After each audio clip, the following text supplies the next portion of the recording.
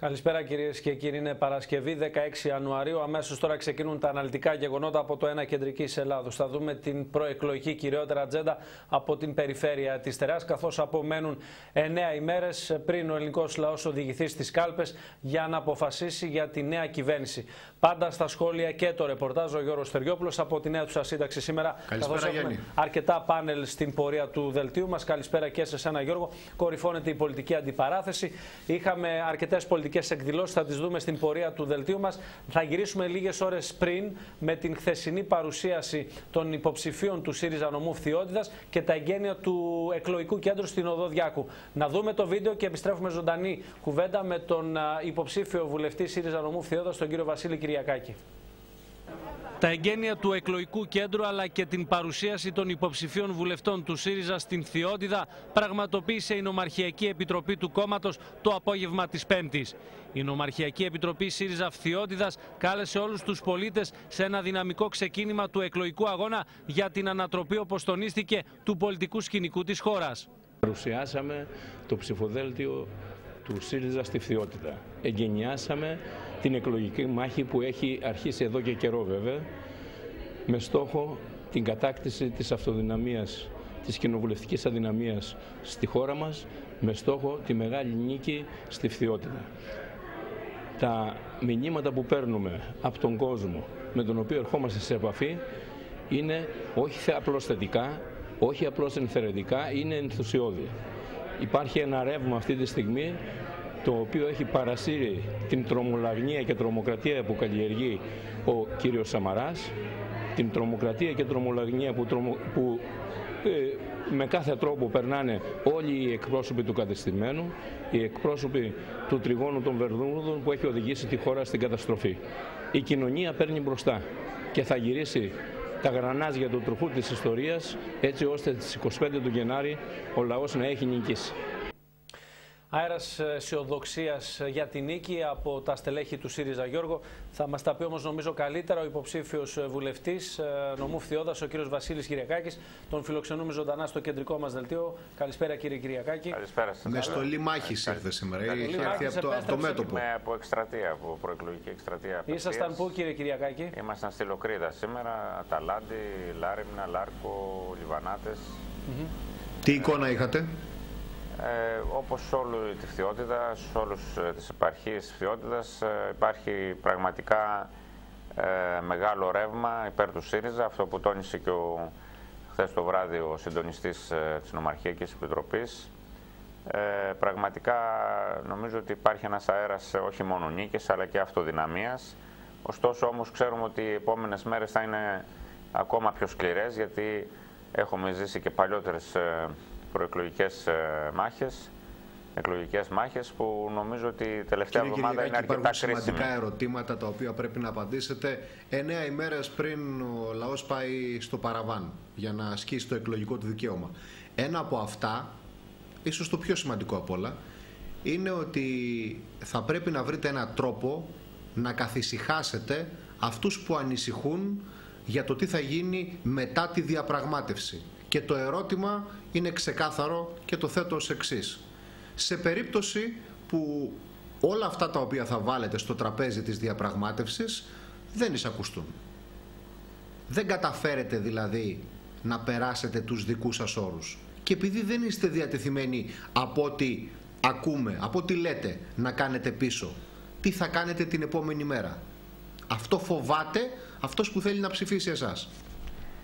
Εντάξει κύριε Στεριόπουλε, ε, πριν πάμε στη διαπραγμάτευση είναι δεδομένο ότι από τη στιγμή που θα υπάρξει κυβέρνηση ΣΥΡΙΖΑ έχουμε πει ότι θα εφαρμόσουμε άμεσα κάποια μέτρα που αφορούν την ανακούφιση του λαού από την ανθρωπιστική κρίση. Είναι αυτό το γνωστό πρόγραμμα Θεσσαλονίκης, καταργώντας τον ένφια, το αφορολόγιο στα 12.000 ευρώ, μειώνοντας τα φάρμακα, δίνοντας τη 13η σύνταξη στους χαμηλοσυνταξιούχους και όλα αυτά τα οποία δεν εξαρτούνται από τη διαπραγμάτευση, είναι κοστολογημένα, υλοποιήσιμα.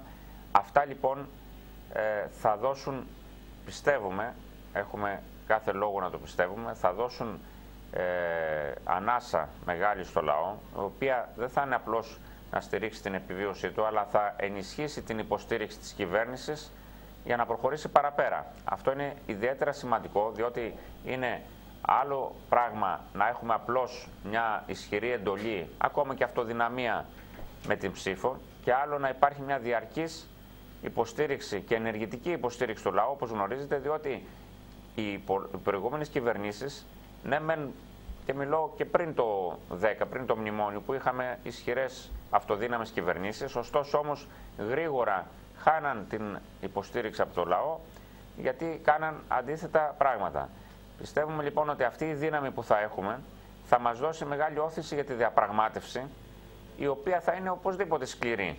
Δεν, κανένας δεν πάει σε μια διαπραγμάτευση έχοντας κατά νου ότι ό,τι ζητήσουμε θα γίνει ε, απευθείας. Δηλαδή θα έχετε τον κόσμο χρόνος... κοντά σας και θέλετε ναι, τον κόσμο κοντά έχουμε... σα γιατί επενδύει πολλά. Είστε η σανίδα σωτηρίας του. Δεν σας ερωτεύτηκε ξαφνικά. Ακριβώς. Θέλετε τον κόσμο κοντά για να κάνετε όλο αυτό; Τον κόσμο συνεχώ, συνεχή υποστηρικτή και ενεργητικό, όπως είπαμε. Με την έννοια ότι θέλουμε δηλαδή ο λαός αυτό το πρόγραμμα και, τη, και το, τις προτάσεις που έχουμε κάνει εμείς για τη διαπραγμάτευση που είναι οι αντίστοιχες που είχαν γίνει διευκολύνσεις για τη Γερμανία το 1953, δηλαδή διαγραφή μεγάλου μέρους του χρέους.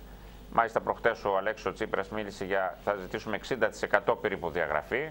Ωστόσο αυτό δεν είναι κάτι που για την ώρα είναι ένα νούμερο το οποίο γιατί σε, στο χρόνο που θα αρχίσει η διαπραγμάτευση θα δούμε αντίστοιχα και τι χρειάζεται.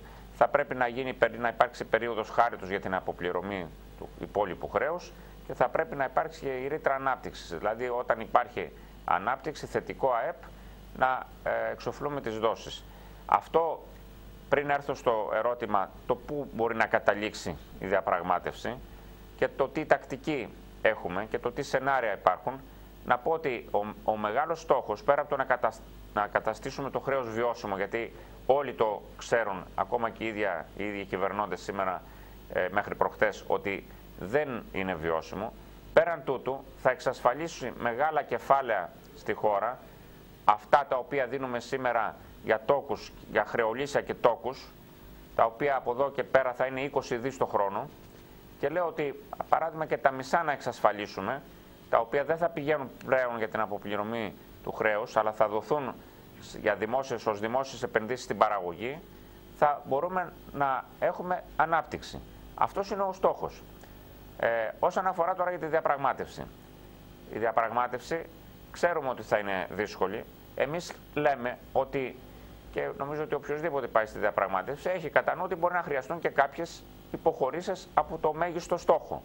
Ωστόσο όμως, ε, καμιά υποχώρηση δεν θα γίνει όσον αφορά το να, τις βασικές γραμμές που είπαμε. Ε, αν θα είναι λίγο μεγαλύτερη ή λίγο μικρότερη διαγραφή του χρέους, εάν θα είναι λίγο περισσότερο ή μικρότερη περίοδος χάριτο. Αυτό είναι συζητήσιμο προφανώς. Αλλά όμως πρακτικά δεν υπάρχει διαφορετική λύση. Εκτιμούμε ότι και η, ε, η, η, καταρχήν η συζήτηση θα γίνει σε ευρωπαϊκό επίπεδο. Εμείς λέμε για μια ευρωπαϊκή διάσκεψη για το χρέος μέσα στα όργανα της Ευρωπαϊκής Ένωσης. Δεν θα πάμε με την κυρία Μέρκελ ή με, τους, με την Τρόικα να συζητήσουμε για το χρέος, διότι δεν είναι ένα διμερές πρόβλημα. Αφορά με την χώρα μας, αφορά όμως και άλλες χώρες. Θα έχουμε λοιπόν συμμάχους και δουλεύουμε όπως ξέρετε προς αυτή την κατεύθυνση. Εσείς θεωρείτε ότι δεν έχουν ένα εναλλακτικό πλάνο, γιατί μιλάμε για τους κορυφαίους της Ευρώπης κύριε Κυριακάκη, το πλάν B που λένε, εγώ λέω το Brexit να μην είναι ε, εφικτό.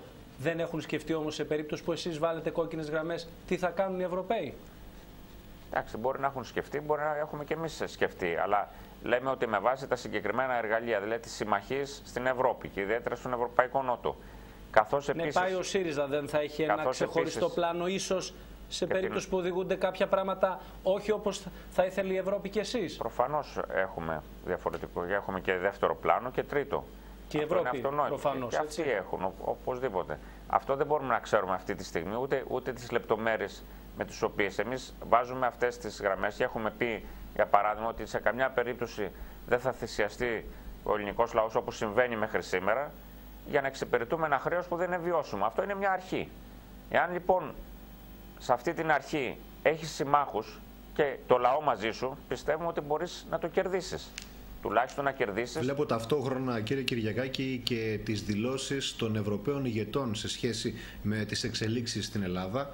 Λέει, ας πούμε, ο Μάρτιν Σούλτς ήταν ανυπόφορη η πολιτική που ακολούθησαν οι κυβερνήσεις των τελευταίων ετών στην Ελλάδα. Το παραδέχεται. Η κυρία Μέρκελ, από ό,τι βλέπω εδώ, λέει ότι θέλουμε την Ελλάδα και στην Ευρώπη και στην Ευρωζώνη.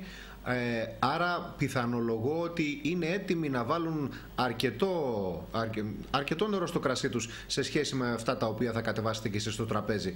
Και από την άλλη πλευρά ε, υπάρχει και το ντόπιο κλίμα, αυτό που διαμορφώνουν στελέχη με δηλώσεις σας. Παρακολουθήσαμε χθες τον κύριο Δραγασάκη, ε, φαντάζομαι θα τον είδατε και εσείς στην εκπομπή επί του πιεστηρίου που προβάλλεται μέσα από το ένα κεντρικής Ελλάδας μετά το κεντρικό δελτίο ειδήσεων στις 10 που είπε ότι μέχρι το καλοκαίρι είμαστε καλά, από εκεί και πέρα να δούμε τι θα κάνουμε. Και είχαμε και τις εξελίξεις με τις τράπεζες και με το δανεισμό σήμερα, ναι. αλλά και την περίφημη δήλωση της ε, κυρίας Μακρύ. Βέβαια θα μου πείτε ε, μπορεί να μην είναι απολύτως εναρμονισμένη με τις υπόλοιπες δηλώσεις του κόμματος ε, τον τελευταίο καιρό μιας και τώρα μπήκε στο κόμμα. Αλλά είναι στο ΣΥΡΙΖΑ, είναι υποψήφιά σας έτσι. Εντάξει είναι υποψήφια βουλευτής, ε, δεν είναι μέλος του ΣΥΡΙΖΑ προφανώς. Ε, εντάξει, δεν θέλω να σχολιάσω τώρα τις λεπτομέρειες της ε, δήλωσης και το αν κατά πόσο έχουν μια βάση καταρχήν, δεν, δεν είναι ξεκάρφωτες. Υπάρχει ήδη ένας μηχανισμός, όπως ξέρετε, επίγουσας ε, χρηματοδότησης ε, ρευστότητας για τις τράπεζες. Τώρα, με τον τρόπο που το είπε, νομίζω ότι εντάξει, παραπέμπει σε άλλα πράγματα. Ε, όπως είπε και ο κ. Ραγαζάκης, αυτός ο μηχανισμός ενεργοποιείται και μάλιστα ήδη κάποιες ε, τράπεζες ε, και ελληνικές ζήτησαν μια επίγουσα ρευστότητα. Είναι κάτι που έχει συμβεί και στο παρελθόν. Ε, δεν Σήμερα λόγος... είδαμε και τον κύριο Σκουρλέτη, κύριε Κυριακάκη, να χτυπά, να χτυπά το Σαμαρά μέσω Αβραμόπουλου, έτσι. Ναι, ο κύριος Αβραμόπουλος... Ο κύριος Αβραμόπουλος φαίνεται να έχει δεχθεί πολλές από τις θέσεις σας. Δεν ξέρω πολλές, αλλά πάντως είπε κάτι σημαντικό ότι ε, εντάξει, είναι, μπορεί να γίνει ε, χωρίς να υπάρξει κάποιο ιδιαίτερο πρόβλημα και το θέμα του... Οπα, συγχωρείτε. Δεν πειράζει. Είναι ζωντανή εκπομπή. Προφανώς τον αναζητούν πολύ για την προεκλογική Έχει αφήσει τα όπλα ανοιχτά από τη μάχη. Εντάξει, ναι. δεν πειράζει. Ε, Συνεχίζουμε. Ζωντανά, κύριε Κυριακάκη. Όχι μόνο ο κύριος Αβραμόπουλος, αλλά είδε πρόσφατη απόφαση του Ευρωπαϊκού Δικαστηρίου που δίνει, δίνει την ε, δυνατότητα, ανοίγει, δίνει το πράσινο φως προς την Ευρωπαϊκή Κεντρική Τράπεζα να δανείζει ε, απευθείας ε, κρατικά, να παίρνει κρατικά ομόλογα απευθείας από τις ε, ε, χώρες, να αγοράζει κρατικά ομόλογα των χωρών απευθείας.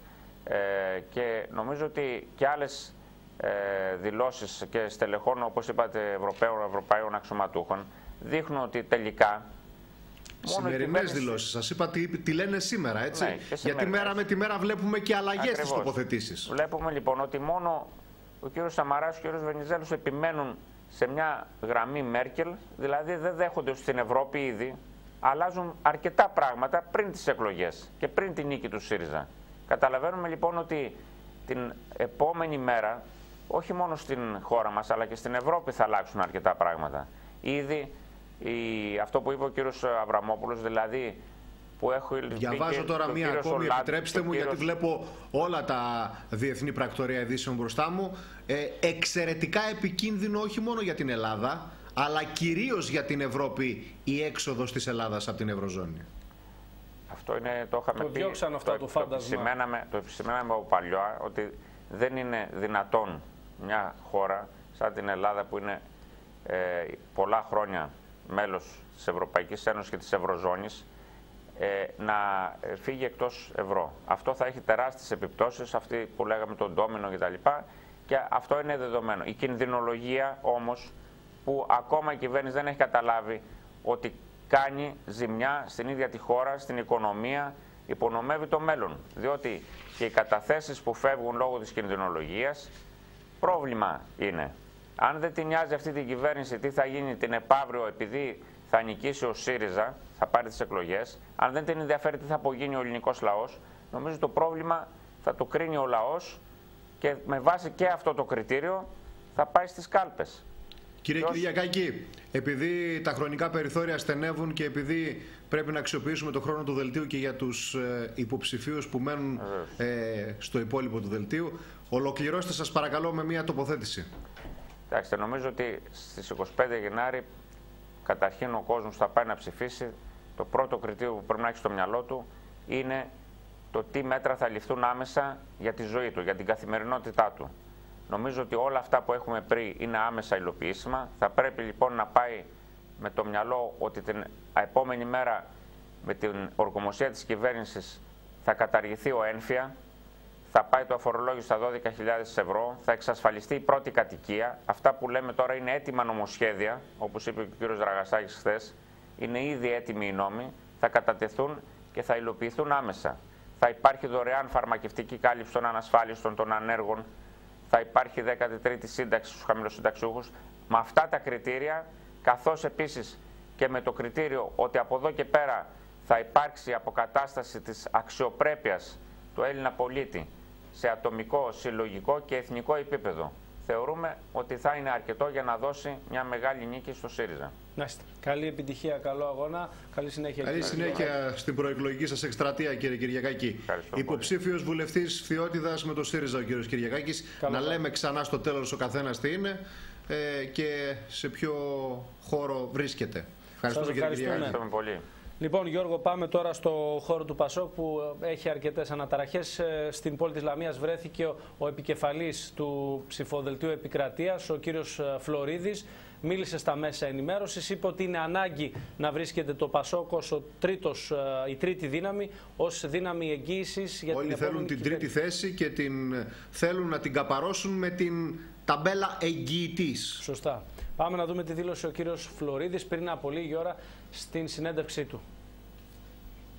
Η παράταξη να δώσει τη μάχη αυτή με όλες τις τρεις δυνάμεις, γιατί είναι η πιο σκληρή μάχη που δίνει τα τελευταία 40 χρόνια. Θα θέλαμε δηλαδή όλοι μαζί να μπορούμε να υπερασπίσουμε τις θετικές πλευρές μιας 40χρονης πορείας, μιας πορείας από την οποία κέρδισε και η χώρα και ο λαός, κέρδισε πάρα πολλά. Θα θέλαμε να είμαστε όλοι μαζί και να δεχτούμε την κριτική για τις αρνητικές μας πλευρές, που και αυτές δεν είναι λίγες, αλλά που θα μας βοηθούσαν και εμάς να λυτρωθούμε μέσα από τη δική μας αυτοκριτική και θα θέλαμε να δώσουμε μια ιστορική μάχη και για την παράδοξη και για τη χώρα. Αυτό δυστυχώς δεν έγινε από λόγους που δεν μπορούμε καν να καταλάβουμε. Δηλαδή, δεν έχω συναντήσει έναν άνθρωπο να μπορεί να εξηγήσει γιατί ο κύριος Παπανδρέου έκανε ένα κόμμα τώρα. Να υπηρετήσει ποιο πράγμα, να καλύψει ποιο πολιτικό κενό, να πει τι. Και μάλιστα ε, ε, ένα κόμμα το οποίο δεν έχει καμία προοπτική, το διαπιστώνει ο κόσμος κάθε μέρα. Επομένως, μέχρι την επόμενη Κυριακή υπάρχει το περιθώριο ο κόσμος, ειδικά της παράταξης, να σκεφτεί έτσι πιο ψύχρεμα, πιο, πιο υπεύθυνα και νομίζω το σκέφτεται, διότι όλοι μαζί, αν μη τι άλλο, έχουμε μια υποχρέωση στον ιδρυτή, στον Ανδρέα Παπανδρέου. Αυτός ο χώρος πρέπει να μείνει ζωντανός. Και μέσα από αυτόν να προχωρήσουμε στην αναγέννηση εφόσον τελειώσουν και οι αυταπάτες της περίφημης αριστερής λύσης. Η Ευρώπη, επειδή και αυτή έχει τεράστια προβλήματα, συζητά διαρκώς πώς θα τα αντιμετωπίσει. Έχει λοιπόν μια ατζέντα για να ξεφύγουν και οι ευρωπαϊκές χώρες από αυτή την, έτσι, την μέγενη της ύφεσης. Δεν είναι καλά τα πράγματα και στην Ευρώπη. Το πρόβλημα για την Ελλάδα είναι ότι κινδυνεύει να χάσει αυτό το τρένο των μεγάλων αλλαγών στην Ευρώπη. Δηλαδή τι, Εάν δεν αλλάξουμε εμείς τη χώρα μας με ένα δικό μας σχέδιο, είναι προφανές ότι θα μείνουμε εκτός των μεγάλων αλλαγών που κάνει η Ευρώπη σήμερα. Η Ευρώπη μπορεί ε, να αυξήσει τη ρευστότητα στις τράπεζες ή μπορεί με το πακέτο Juncker ε, να δώσει αναπτυξιακές ανάσες παντού, αλλά για να συμμετάσχουμε σε αυτά πρέπει νωρίτερα να κάνουμε τις μεγάλες αλλαγές στη χώρα μας.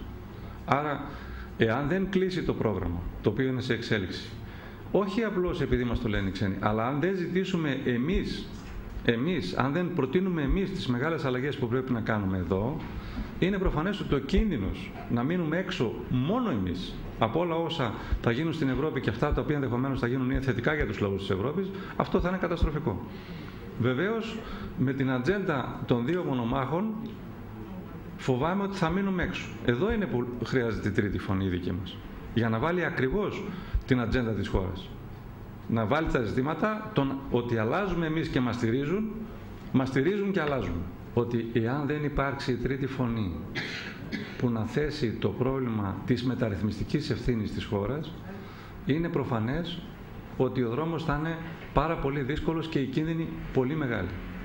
Επειδή λοιπόν αυτοί οι δύο δεν βάζουν τον κίνδυνο, δεν βάζουν το, την ατζέντα των μεγάλων αλλαγών που έχει ανάγκη η χώρα έτσι κι αλλιώς πέρα από μνημόνιο ή οτιδήποτε άλλο, γι' αυτό πρέπει αυτή η δύναμη της ευθύνης να ενισχυθεί στις εκλογές για να μπορέσει να επιβάλλει αυτή την ατζέντα, να, να, να επιβάλλει την ειρήνευση ανάμεσα σε δύο μονομάχους οι οποίοι ας πούμε κινούνται με εμφυλιοπολεμικούς όρους. Δεν γίνεται και ο κύριος υπά... Φλωρίδης αναφέρθηκε, όπως ακούσαμε, στο δίπολο της Νέας Δημοκρατίας και του ΣΥΡΙΖΑ. Θα συνεχίσουμε όμως να ακούσουμε και άλλες προεκλογικές και πολιτικές απόψεις. Γιώργο, πάμε στο πρώτο πάνελ που έχουμε σήμερα και θα ακολουθήσει και οικονομικό στην πορεία του Δελτίου. Θα ξεκινήσω από την κυρία της Παρέας, την κυρία Στάμου, που είναι υποψήφια βουλευτής με το ποτάμι στο νομό Βιωτίας. Καλησπέρα. Καλησπέρα. Καλή επιτυχία σας, εύχομαι και ο κύριος Ζάχος που είναι υποψήφιος βουλευτής με το Λαϊκό Ορθόδοξο Συναγερμό στην Φθιόντα. Καλησπέρα κύριε Ζάχο και σε εσάς. Καλησπέρα, σας. Καλησπέρα. Καλή συνέχεια στον προεκλογικό σας αγώνα. Λοιπόν, να ξεκινήσουμε με την κυρία Στάμου και εγώ θα δανειστώ τη δήλωση που έκανε στο ένα κεντρικής Ελλάδος Γιώργο πριν από λίγες ημέρες ο κύριος Θεοδωράκης ότι είμαστε η τρίτη δύναμη και θα εγγυηθούμε πολλά πράγματα. Κυρία Στάμου, ξεκινώ με εσάς. Το πιστεύετε πραγματικά; Πραγματικά το πιστεύω. Αυτό δείχνουν οι δημοσκοπήσεις. Αυτό βλέπω και εγώ όταν μιλάω με κόσμο, όταν συζητάω με κόσμο, όταν δίνω ομιλίες. Και πραγματικά θέλουμε να μας εμπιστευτούν ακόμα περισσότερο, να μας κάνουν τρίτη δύναμη, γιατί σημασία έχει και το ποσοστό. Με τι ποσοστό θα είμαστε τρίτη δύναμη, ώστε να ε, χρησιμεύσουμε ως δικλίδα ασφαλείας για τους πολίτες. Θέλουμε να προστατεύσουμε τους πολίτες και από τα παλαιά κόμματα που ως τώρα μας έχουν φέρει στην κατάσταση που είμαστε. Δεν χρειάζεται να τους επιβραβεύσουμε ακόμη μια φορά. Αλλά και από τον ΣΥΡΙΖΑ. Από την απειλή, θα έλεγα, του ΣΥΡΙΖΑ. Μάλιστα. Κύριε Ζάχο, ένα πρώτο σχόλιο και εσάς. Εσείς από το Λαϊκό Ορθόδοξο Συναγερμό είστε σχεδόν εξαφανισμένοι δημοσκοπικά και ούτε καν σας βάζουν μέσα στην Βουλή. Σας ακούω. και όχι εξαφανισμένοι. Ε, δεν μας προβληματίζει καθόλου. Πάντα ήμασταν κάτω στις δημοσκοπήσεις, πάντα είμαστε και πάντα θα είμαστε δεν έχουμε καμία επαφή με όλο αυτό το σύστημα των δημοσκοπήσεων. Ε, μας έχουν διαψευστεί συνέχεια και συνεχίζουμε με το σχέδιο και μπροστάρει τον Γιώργο τον Ποιο είναι το σχέδιο για τον Λαϊκό Ορθόδοξο Συναγερμό όμως ε, κύριε Ζάχο το επόμενο διάστημα; ε, απουσιάζεται πολύ καιρό θα έλεγα. Ήσταν σε μια συγκυβέρνηση κάποια στιγμή. Δεν ξέρω, σας καταλογίζουν και ευθύνες που κάποτε έλεγε ο πρόεδρος σας αποκλείεται. Λέει όταν πέρασαν τις κόκκινες γραμμές, φύγατε. Αλλά συγκυβερνήσατε αν το σκεφτείτε κι εσείς καλά. Βεβαίως και συγκυβερνήσαμε, αλλά υπήρχε άλλη πρόταση εκείνη τη στιγμή να σας θυμίσω τις συγκυρίες; Για να θυμηθεί ο κόσμος σε τι κατάσταση βρισκόμασταν το 2012 και ποιος τελικά πλήρωσε για να λάβει μεγαλύτερο μερίδιο ευθυνών; Για, για να βοηθήσει η κατάσταση να πάει μπροστά. Ε, το ζήτημα της συγκυβέρνησης έχει λυθεί πολιτικά, με το σκεφτείτε, το 2012, με τις εκλογές του 2012 τι διπλέ. Το κόμμα έχει ανασυνταχθεί, έχουν γίνει λάθη, έχουν φύγει τα βαρύδια από το κόμμα. Προχωράμε μπροστά, είμαστε πάνω από το 4, θέλω να ξέρετε. Και για το πω για το λαό της Θειότητα, υπάρχει μεγάλη πιθανότητα να εκλεγεί και βουλευτής εδώ πέρα. Ποια ήταν τα βαρύδια, κύριε Ζάχου; Καλησπέρα κύριε Στεριόπουλο. Καλησπέρα σας. Θέλετε να πω ονόματα; Ε, θα, θα, θέλετε να τα πω ε, εγώ; Τα, τα, μεγάλα στελέχη που έχουν φύγει και τα μεσαία στελέχη που έχουν. Θέλετε να τα πω εγώ τα ονόματα; Να τα πείτε, δεν έχω κανένα θέμα. Όλος ο κόσμος θα ξέρει, κύριε Στεριόπουλο. Τα... Έχετε δίκιο, έχετε δίκιο. Ε, Όμως. Ο Λαϊκός πρέπει... Ορθόδοξος Συναγερμός είναι η βάση του, δεν είναι τα στελέχη του. Από εκεί ξεκινάει ο Λαϊκός Ορθόδοξος Συναγερμός. Όμως, ε, όταν φεύγουν στελέχη και μάλιστα τόσο προβεβλημένα, παίρνουν μαζί τους και κάποιο κόσμο. Και κάποια έρχονται. Γιατί άμα δείτε πόσα στελέχη έχουν έρθει τον τελευταίο καιρό. Δεν αμφιβάλλω για αυτό το οποίο λέτε. Όμως τα προβεβλημένα στελέχη τα οποία φεύγουν είναι στελέχη τα οποία είχαν μείνει στο εσωτερικό της παράταξής σας πάρα πολύ καιρό. Βεβαίως, ναι. Τι θέλετε Έτσι να δεν είναι; Τι θέλετε να Θέλω να πω με αυτό ότι είναι λίγο περίεργο να μην καταλαβαίνετε αν υπάρχει κάποιο παιχνίδι εσωτερικά. Εσωτερικά στον Ορθόδοξο Συναγερμό, δεν νομίζω. Εσωτερικά παιχνίδια στη Νέα Δημοκρατία μπορεί. Εγώ έτσι το βλέπω το θέμα. Από εδώ και πέρα και επειδή παρακολουθώ και τις τελευταίες ζωντανές εκπομπές του Γιώργου Καρατζαφέρη στο ART συνεχώς, ε, είναι σε μια συνεχή επαφή με τον κόσμο. Τι θέλετε αυτή την περίοδο να καταδείξετε; Και συνεχώς ε, προβάλλει το πατρίς θρησκεία οικογένεια, έτσι, λοιπόν, και την Ορθοδοξία. Εδώ ο τίτλος του, του κόμματος έχει την Ορθοδοξία μέσα. Προφανώς. Λοιπόν, Ε, ο Λαϊκός Ορθόδοξο Συναγερμός έχει πλήρη πλάνο για την έξοδο από την κρίση. Όχι τώρα, από το 10, να μην πω και πιο νωρίς. Ε, πολλές, πολλές από τις θέσεις του κόμματος έχουν αντιγραφτεί από όλα τα κόμματα, από όλα τα κόμματα, κυριολεκτικά. Και από εκεί και πέρα ε, είναι ίσως το μοναδικό κόμμα που δεν έχει προδώσει πατριωτικές θέσεις της Ελλάδος.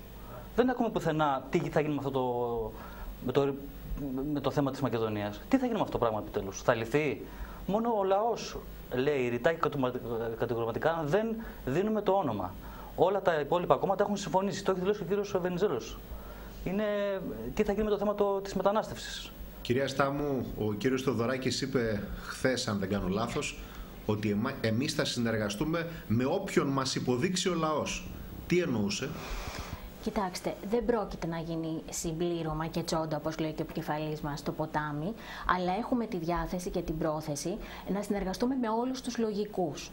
Έτσι δηλαδή με ανθρώπους οι οποίοι δεν θα είναι διαπλεκόμενοι, δεν θα είναι κρατιστές. Θα συνεργαστούμε με αυτούς που θέλουν το καλό των πολιτών και που θα κρατήσουν τη χώρα στην Ευρώπη. Για μας είναι προτεραιότητα αδιαπραγμάτευτη αυτή το ευρώ. Να μείνουμε στην Ευρώπη γιατί έτσι κι αλλιώς η Ελλάδα είναι η Ευρώπη. Είναι ντροπή μας να το συζητάμε αυτό. Όταν μιλάμε για Ευρώπη δεν εννοούμε μόνο ένα κοινό νόμισμα. Αναφερόμαστε στις κοινές, στη, στη φιλοσοφία, ε, στις ε, ε αρχές της δικαιοσύνης, της ελευθερίας της έκφρασης, στην ανεξιθρησκεία. Είμαστε λοιπόν η Ευρώπη και πρέπει πάση θυσία να παραμείνουμε στην Ευρώπη ε, και να μην επιτρέπουμε σε κανέναν να διαπραγματεύεται αυτό, αλλά και πολλά άλλα. Πάντως να συμπληρώσω να στο ερώτημα, επιτρέψτε μου ένα λεπτό κύριε Ζάχος, στο ερώτημα της κυρίας Τάμου, επειδή αν καταφέρθηκε ο πρόεδρός σας και στο ΣΥΡΙΖΑ, αν αύριο ο ΣΥΡΙΖΑ είναι πρώτο κόμμα και σας ε, ζητήσει συμπλήρωμα, θα το κάνετε; Υπάρχουν και λογικοί και αξιόλογοι άνθρωποι μέσα στο ΣΥΡΙΖΑ. Δυστυχώς επικρατεί μια διγλωσία όμως. Ε, απ' τη μια ακούμε ότι ο ΣΥΡΙΖΑ δεν θέλει να βγει από την Ευρώπη και απ' την άλλη ε, καλεί το ΚΚΕ και την Ανταρσία να συνεργαστούν μαζί του και ξέρουμε πάρα πολύ καλά ποια είναι η φιλοσοφία τους. Έτσι έχουμε ανθρώπους λοιπόν στο ΣΥΡΙΖΑ που μιλάνε για δραχμή και έχουμε άλλους οι οποίοι θέλουν να παραμείνουμε στο ευρώ. Θα συνεργαστούμε με τους λογικού. Δεν διαφωνώ, αλλά ας πάρουμε το υποθετικό σενάριο ότι βγαίνει ο ΣΥΡΙΖΑ βάσει των δημοσκοπήσεων, αν θέλετε και έρχεται και σας λέει θα συνεργαστείτε. Ο πρόεδρος σας καταφέρθηκε πολλές φορές. Θα θέσουμε και εμείς τις κόκκινες γραμμές μας. Έχει ένα συγκεκριμένο πρόγραμμα το ποτάμι και δεν πρόκειται να γίνει συμπλήρωμα κανενός κόμματος μόνο και μόνο για να συνεργαστεί. Γιατί έτσι κι αλλιώς εμείς δεν ε, θέλουμε τις καρέκλες και τα υπουργεία. Δεν μας ενδιαφέρει αυτό. Μας ενδιαφέρει να κρατήσουμε την Ελλάδα στην Ευρώπη και να επιβάλλουμε τις αρχές μας για το κράτος δικαίου, το την υγεία, την παιδεία. Τι εννοούσε όταν έλεγε θα συνεργαστώ με αυτόν που θα μου υποδείξει ο λαός.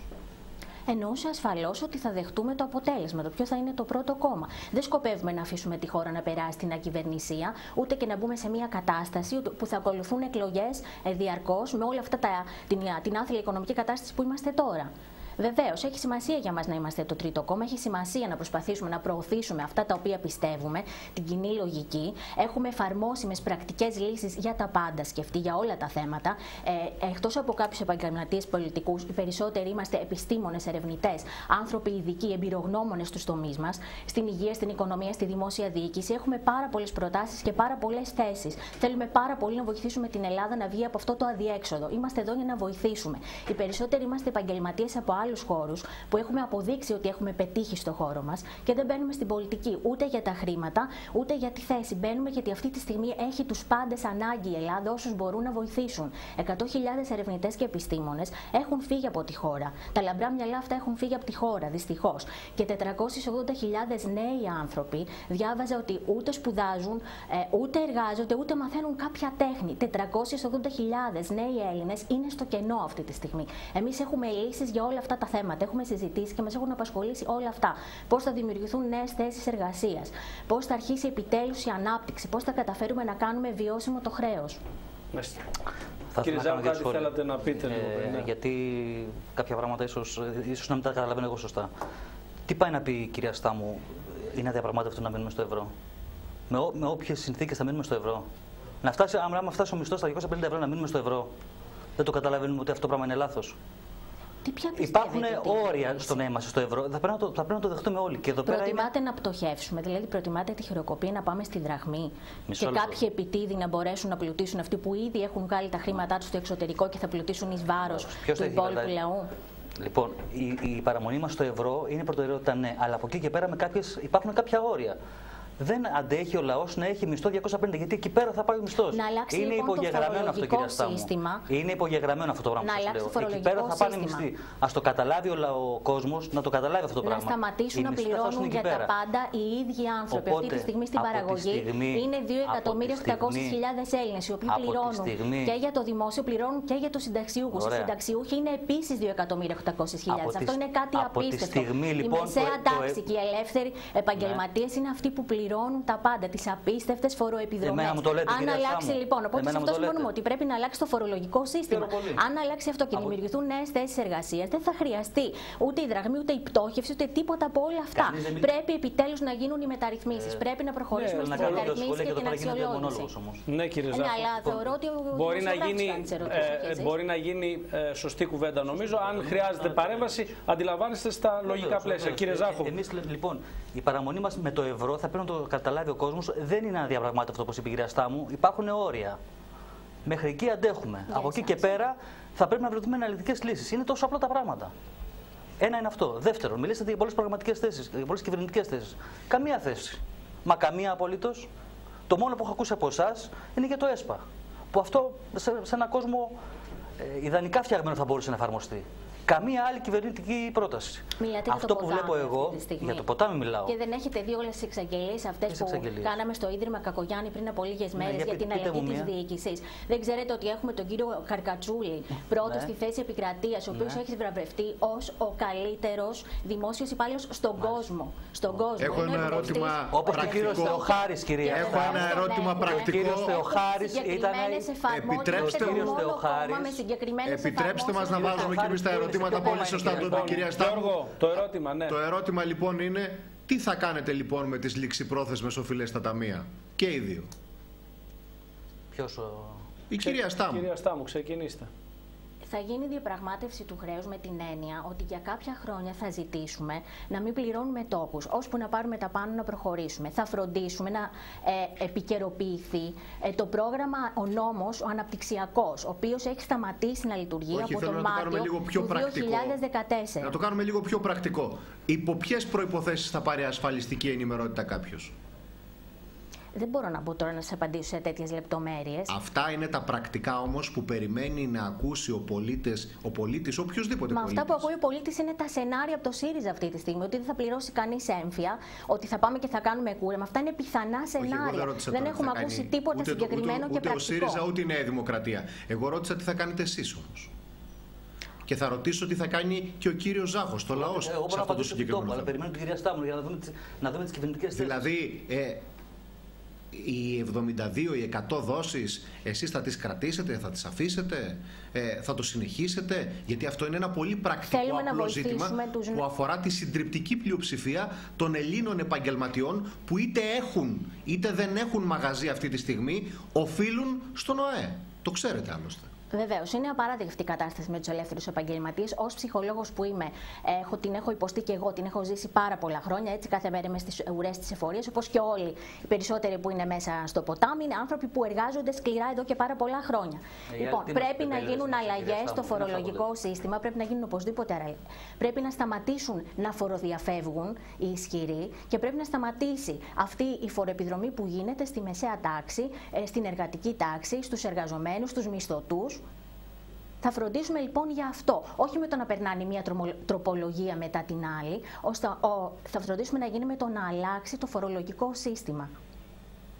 Όχι με το να περνάει μια τροπολογία πίσω από την άλλη. Θέλω μου απαντήσετε, ε, πάλι γενικά μου μιλήσατε για το φορολογικό σύστημα. Σας ρώτησα συγκεκριμένα για τις ρυθμίσεις στα ασφαλιστικά ταμεία. Κύριε Ζάχο. Λοιπόν, Καταρχάς, να διευκρινίσω ότι είμαι επαγγελματίας και σας μιλώ ειλικρινά από τι. Απαντήστε, κύριε Ζάχο. Λοιπόν, Στις 31 του μηνός με ενδιαφέρει πιο πολύ να πληρώσω το ΦΠΑ και τις ηλεκτρonic που έχω. Αυτό με ενδιαφέρει αυτή τη στιγμή. Αυτό, αυτό σκεφτείτε μόνο. Λοιπόν, τι λέει το λαός; Εννοείται οι, πρωτο... οι δόσεις θα συνεχιστούν. Και το βασικό εργαλείο είναι η συσάχρεια. Δεν μπορεί να γίνει κάτι άλλο, κύριε Στεριόπουλε. Θα πρέπει κάποια χρέη να διαγραφούν. Θα πρέπει να γίνει reset στην οικονομία, στην κοινωνία, στους ανθρώπους. Δεν μπορεί να συνεχιστεί αυτή η κατάσταση. Θα πρέπει να βάλουμε μια γραμμή και να πούμε από εδώ και πέρα προχωράμε. Η Σισάχθα λοιπόν που μόλις προχθές στη Θεσσαλονίκη ψέλισε ο κύριος ε, Τσίπρας, το λέει ο Καρατζαβέρη εδώ και πέντε χρόνια. Και επειδή σήμερα είχαμε την είδηση για την στήριξη δύο τραπεζών άλλωστε το ξέρετε, δεν χρειάζεται να το ξαναπούμε. Θα ήθελα να σας ρωτήσω, οι τράπεζες ανακεφαλαιοποιήθηκαν. Τι πιστεύετε ότι πρέπει να γίνει με τα δάνεια των πολιτών της χώρας, σε όποιο επίπεδο; Εννοείται ότι αυτά τα ποσά οι, οι τράπεζες χοντρικά έχουν κάπου. Ναι, αυτά τα που έχασαν έχουν υποτίθεται από του λάβει πολίτε. κάπου στα 150 δισεκατομμύρια Ακριβώς, σε ακριβώς, εγγυήσεις, ακριβώς. επιχορηγήσεις. Η δική σας θέση- Αυτά τα λεφτά θα πρέπει να μπουν στην αγορά. Δεν υπάρχει αυτό το πράγμα τώρα που γίνεται. Ε, είμαι επαγγελματίας και σας λέω δεν κυκλοφορεί 5 ευρώ έξω. Λοιπόν, οι τράπεζες θα πρέπει να λάβουν τις ευθύνες τους και σαν θεσμοί αλλά και σαν επιχειρήσεις. Θα πρέπει να ενισχυθεί η μικρομεσαία επιχείρηση, η ελληνική επιχείρηση. Δεν μπορεί να γίνει η Ελλάδα το μικρομάγαζο δύο πολυεθνικών ανακλάδο. Δύο πολυ- πολυεθνικών στον τουρισμό, δύο πολυεθνικών στις, ε, σε όποιο κλάδο θέλετε. Θα πρέπει να στηριχθεί η ελληνική επιχείρηση. Κυρία η Στάμου. απλή μικρομεσαία επιχείρηση.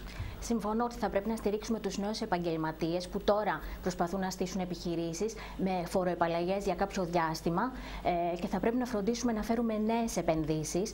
Ε, θέλω να ρωτήσω όμως και κάτι να επισημάνω. Τι είναι αυτό που θα κάνουν τα παλιά κόμματα όπως το ΛΑΟ που δεν Λαός. κατάφεραν να κάνουν τόσα χρόνια; Τι είναι αυτό που θα καταφέρουν να κάνουν τώρα; Εγώ αυτό θέλω να μάθω. Ποια θα είναι η διαφορά αυτή τη φορά; Είναι ένα παλιό σύστημα γεμάτο λάθη και αμαρτίες από το οποίο πρέπει να απαλλαγούμε. Και δεν αναφέρομαι σε εσάς, μιλάω γενικά στα κόμματα που έχουν κυβερνήσει, κυρίως τη Νέα Δημοκρατία και το Πασόκ. Απ' τη μια λοιπόν έχουμε αυτό το σύστημα που είναι γεμάτο αμαρτίες και δεν πρέπει να το επιβραβεύσουμε άλλη φορά. Και απ' την άλλη έχουμε τον ΣΥΡΙΖΑ, ε, στον οποίο επικρατεί τέτοια σύγχυση και προκαλεί ανησυχία και στον κόσμο και στο εσωτερικό και στο εξωτερικό. Γιατί να προτιμήσουμε κάποιο- κάποιον από αυτούς τους δύο πόλους; Ο κύριο Θεοχάρη κυβέρνησε, κυρία Στάμου. Ο Γενικός Γραμματέας Εσόδο κυβέρνησε; Κυβέρνησε. Ναι.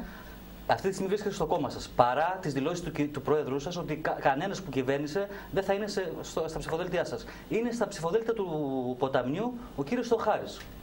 Το ακούει αυτό ο κόσμος. Και σε μια- Ο κόσμος το ακούει, όπως και ακούει για όλα τα σκάνδαλα Και που σε- έχουν και σε δημιουργηθεί μια με τον κομμένη πρόεδρό θέση. σας. Το κάτι καινούργιο, Ο το κάτι κύριος πάρα πολύ Θεοχάρη είναι γένετο. το πρόβλημα, ή εσεί που Μην τόσα χρόνια λέτε δεν ότι- καταφέρατε να προσφέρετε Μην τίποτα στον λέτε ότι ελληνικό βγαίνει λαό. Να τον κρίνω. Αυτό θέλω να σας πω. Εκεί Κύριε Υπάρχουν Στάμου, και κάποιοι κυρία Στάμου, επαγγελματίες Αυτό που σας πολιτικοί λέει ο στο κύριος ποτάμι. Ζάχος είναι ότι ε, ειδικά το συγκεκριμένο όνομα Ε. αποτελούσε σημαία μιας πολύ συγκεκριμένης φορολογικής πολιτικής.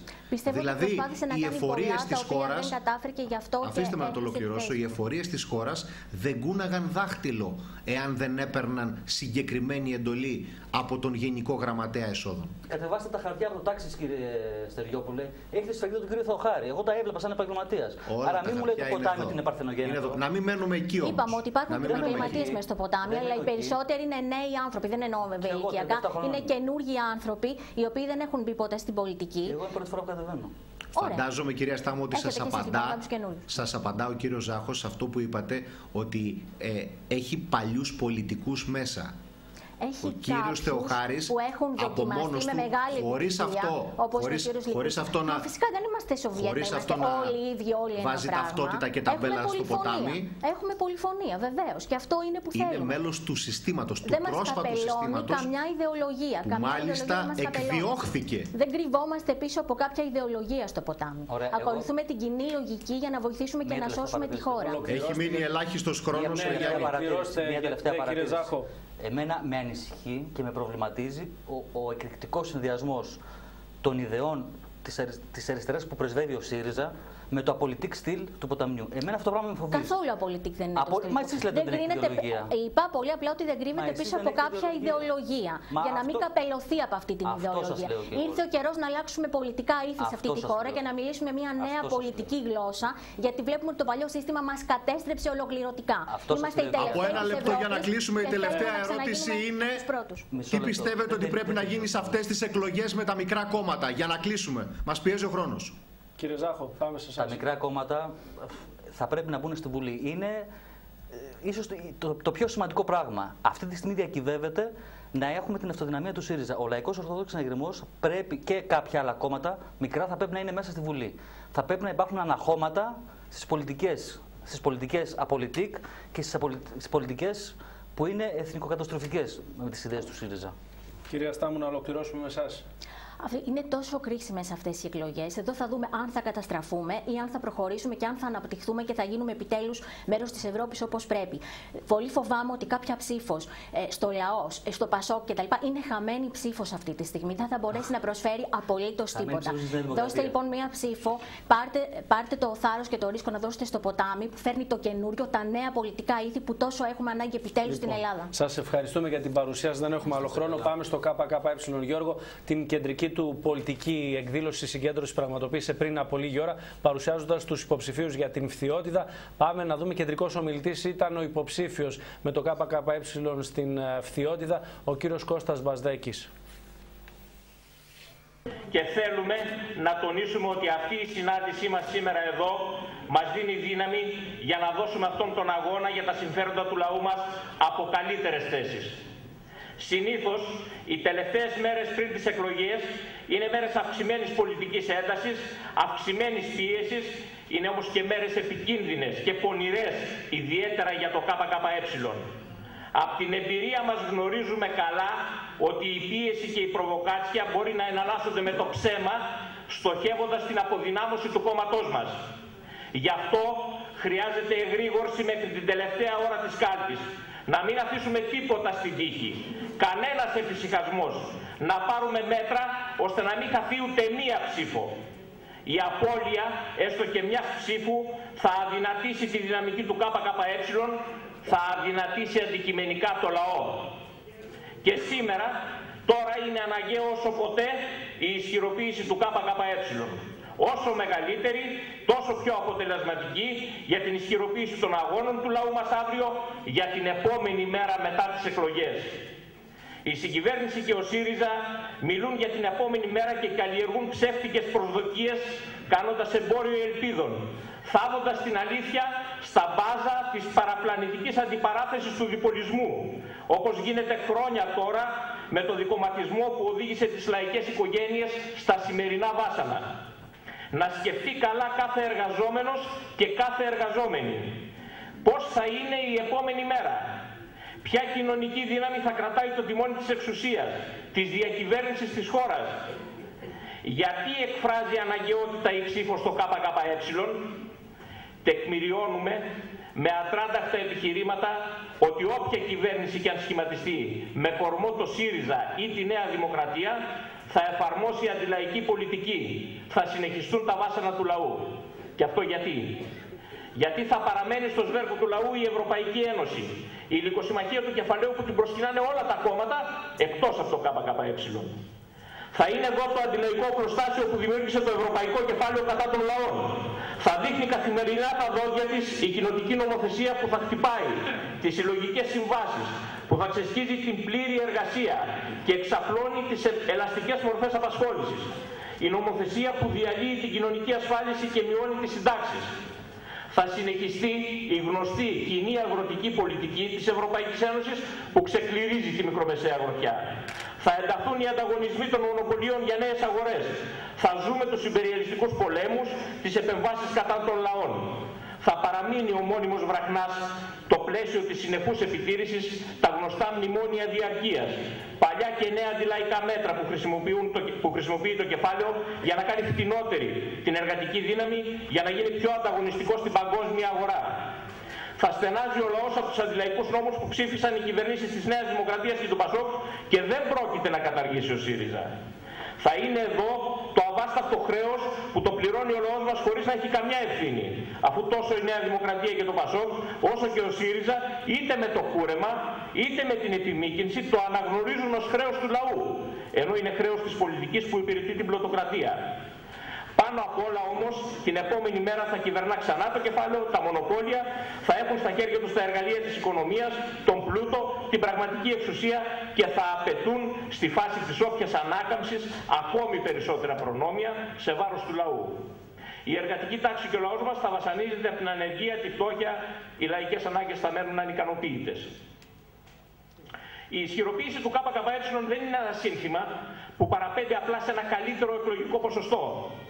Η ισχυροποίηση αποτελεί προϋπόθεση για να αναπτερωθεί το ηθικό του λαού μας, να αντιμετωπίσει με θάρρος και αισιοδοξία τη δυσμενή σημερινή κατάσταση με προοπτική και πίστη στη δύναμή του ότι τα πράγματα θα αλλάξουν, ότι μπορεί να έρθει ανάποδα ο Δουνιάς και αυτό θα γίνει με τη δική του πάλι για να βάλουμε γερές βάσεις, να ανοίξουμε το δρόμο για την εργατική λαϊκή εξουσία και διακυβέρνηση που θα προωθήσει τη μοναδική λύση υπέρ του λαού, δηλαδή τη μονομερή διαγραφή του χρέους, την αποδέσμευση από την Ευρωπαϊκή Ένωση και το ΝΑΤΟ, την κοινωνικοποίηση των μονοπωλίων για τη λαϊκή ευημερία και τη σοσιαλιστική προοπτική. Για να αξιοποιηθούν οι παραγωγικές δυνατότητες της χώρας μας, να αξιοποιηθεί ο ορυκτός πλούτος, η βιομηχανία, η ενέργεια, οι τηλεπικοινωνίες, οι μεταφορές, η αγροτική παραγωγή. Σχεδιασμένα όλα αυτά σε όφελος του λαού. Σε αυτή την κυβέρνηση της εργατικής λαϊκής εξουσίας το ΚΚΕ θα έχει πρωταγωνιστικό ρόλο για να γίνουν πραγματικότητα τα ιδανικά και αξίες του λαού μας για μια κοινωνία χωρίς εκμετάλλευση ανθρώπου από άνθρωπο. Το ΚΚΕ ποτέ δεν ζήτησε, ούτε σήμερα ζητάει λευκή επιταγή από το λαό για να, να αναλάβει εργολαβικά το έργο της αντίστασης και της αντεπίθεσης της προοπτικής.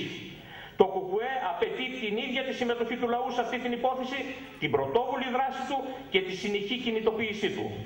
Σήμερα ο μόνος δρόμος που μπορεί να οδηγήσει στην αναχέτηση, στην αποτροπή, αλλά και στην ανάκτηση εξαιτίας των αδηλαϊκών μέτρων των απολειών που είχε ο λαός μας, του εισοδήματος, των δικαιωμάτων του, των αναγκαίων παροχών για τη βελτίωση της ζωής του, είναι ο δρόμος του αγώνα. Ένας αγώνας που θα στηρίζεται στην οργάνωση, τη μαζικοποίηση και τη συμμαχία των εργατών με όλα τα άλλα λαϊκά στρώματα. Το μόνο κόμμα που μπορεί να συμβάλλει σε αυτή την κατεύθυνση είναι το ΚΚΕ που προτάσει σήμερα απέναντι στην εξουσία του κεφαλαίου την εργατική λαϊκή αντιπολίτευση γιατί όσο την εξουσία την έχουν οι τραπεζίτες, οι βιομήχανοι, οι εφοπλιστές με οποιοδήποτε κυβερνητικό σχήμα ο λαός αντικειμενικά θα είναι στη θέση της αντιπολίτευσης. Και αυτό είναι εξόφθαλμο και αποδεικνύεται με χίλιους τρόπους. Ας μας, ας μας πει κάποιος, μέσα στον οριμαγδό των αντιλαϊκών μέτρων ένα, μόνο ένα μέτρο που να φύγει τους τραπεζίτες, που να προβληματίζει τους βιομήχανους, μόνο μια άρση από τις 58 φοροαπαλλαγές που έχουν χρόνια οι εφοπλιστές. Πουθενά, σε κανένα από τα μνημόνια και, του, και τους 400 και πλέον εφαρμοστικούς νόμους δεν υπάρχει παράγραφος που να φύγει στο ελάχιστο τα κέρδη και τα εισοδήματα των κεφαλαιούχων και των μεγάλων επιχειρηματικών ομίλων. Να πως αποδεικνύεται ότι αυτοί που έχουν την πραγματική εξουσία παίρνοντας μέτρα που διαιωνίζουν την ευημερία τους, να γιατί ο λαός στενάζει και θα συνεχίσει να υφίσταται μέτρα και διαρκή μνημόνια εναντίον του, να γιατί ο λαός είναι τελικά στην αντιπολίτευση, γιατί αν ήταν στην εξουσία θα έπαιρνε μέτρα υπέρ του. Εκεί λοιπόν είναι και η θέση του ΚΚΕ μαζί του. Γιατί από αυτή τη θέση θα πρέπει να οργανωθεί η αντεπίθεση που θα φέρει το λαό στο προσκήνιο και εν τέλει στην εξουσία. Και επειδή η συσχετισμοί είναι πολύ συγκεκριμένη και ο διπολισμός μεταξύ Νέας Δημοκρατίας και ΣΥΡΙΖΑ καλά κρατεί, ενώ γίνονται προσπάθειες να οξυνθεί ακόμη περισσότερο, η σκέψη το πώς θα είναι, το πώς θα είναι η επόμενη μέρα μετά τις εκλογές και το πόσο δυνατό θα είναι το ΚΚΕ πρέπει να αποτελεί για το λαό μας πρώτης της, ζωτική σημασία ζήτημα. Απέναντι σε μια κυβέρνηση είτε του ΣΥΡΙΖΑ είτε της Νέας Δημοκρατίας με αυτοδυναμία ή χωρίς, θα πρέπει να υπάρχει ένα ισχυρό αντιπολιτευτικό αντίβαρο ικανό να το στρομάζει ικανό να τους κάνει να σκέφτονται δυο και τρεις φορές αν θα πάρουν κι άλλα αντιλαϊκά μέτρα. Και αυτό το αντίβαρο δεν μπορεί να είναι άλλο από το ΚΚΕ. Το κόμμα μας όλο αυτό το χρονικό διάστημα έδειξε στην πράξη, όχι στα λόγια, ότι μπορεί να κρατήσει άσβεστη τη φλόγα της αντίστασης. Παρότι από τις εκλογές του 2012, του Ιούνιου του 2012 βγήκε αποδυναμωμένο με ποσοστό 4,5%, προσπάθησε να συσπηρώσει τα λαϊκά στρώματα να εκφράσουν την αντίθεσή τους στην αντιλαϊκή λέλαπα των κυβερνήσεων της Νέας Δημοκρατίας Πασόκ με το αριστερό επίχρησμα της Δημάρ στην αρχή και αργότερα μόνοι τους. Έκανε ό,τι περνούσε από το χέρι του να εμφυσίσει. Πολιτική συγκέντρωση που πραγματοποίησε σήμερα το απόγευμα στο Εργατικό Κέντρο Φθιώδας στο ΚΚΕ με τους υποψηφίους βουλευτές. Θα παραμείνουμε στο προεκλογικό δελτίο. Θα αποσπάσουμε ε, πολιτικές εκτιμήσεις από τον διδάκτορο του Πανεπιστημίου, τον κύριο Στέργιο Κατηχωρίτη, με τον οποίο θα συνομιλήσουμε τηλεφωνικά. Καλησπέρα, κύριε καθηγητά. Καλησπέρα, να είστε καλά. Καλησπέρα. Λοιπόν, κορυφώνεται η αντιπαράθεση. Ο κόσμος είναι ίσως λίγο ακόμα μπερδεμένος, κύριε καθηγητά. Την πρώτη σας πολιτική εκτίμηση για το τι θα έχουμε σε νέα ημέρες. Κοιτάξτε, ε, είναι, είναι βέβαιο ότι οι προοδευτικές δυνάμεις και προκειμένου ο ΣΥΡΙΖΑ θα είναι ένα πρώτο κόμμα που φαίνεται ότι πλησιάζει την αυτοδυναμία. Ε, Τώρα, αν θέλετε να σας εξηγήσω γιατί το θεωρώ ότι πλησιάζει την αυτοδυναμία, πρώτον και κύριον από το ότι ανησυχούν οι πάντες πλέον ε, και οργανώνονται στις διάφορες, ε, αν θέλετε, διαπραγματευτικού μεταεκλογικού ε, κλίματος που θα δημιουργηθεί.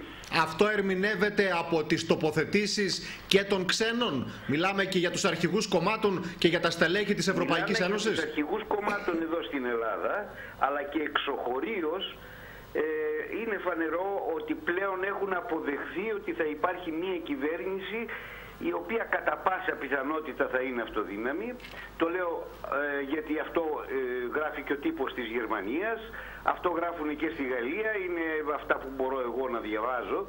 Ε, φαίνεται ότι είναι κοινό πλέον της πάσης και εντάξει δεν αποτελεί και έκπληξη για τους Γερμανούς για παράδειγμα, απλώς λένε εμείς θα συζητήσουμε. Η Goldman Sachs πάντως δίνει προβάδισμα στον Αντώνη Σαμαρά πάντως κύριε καθηγητά.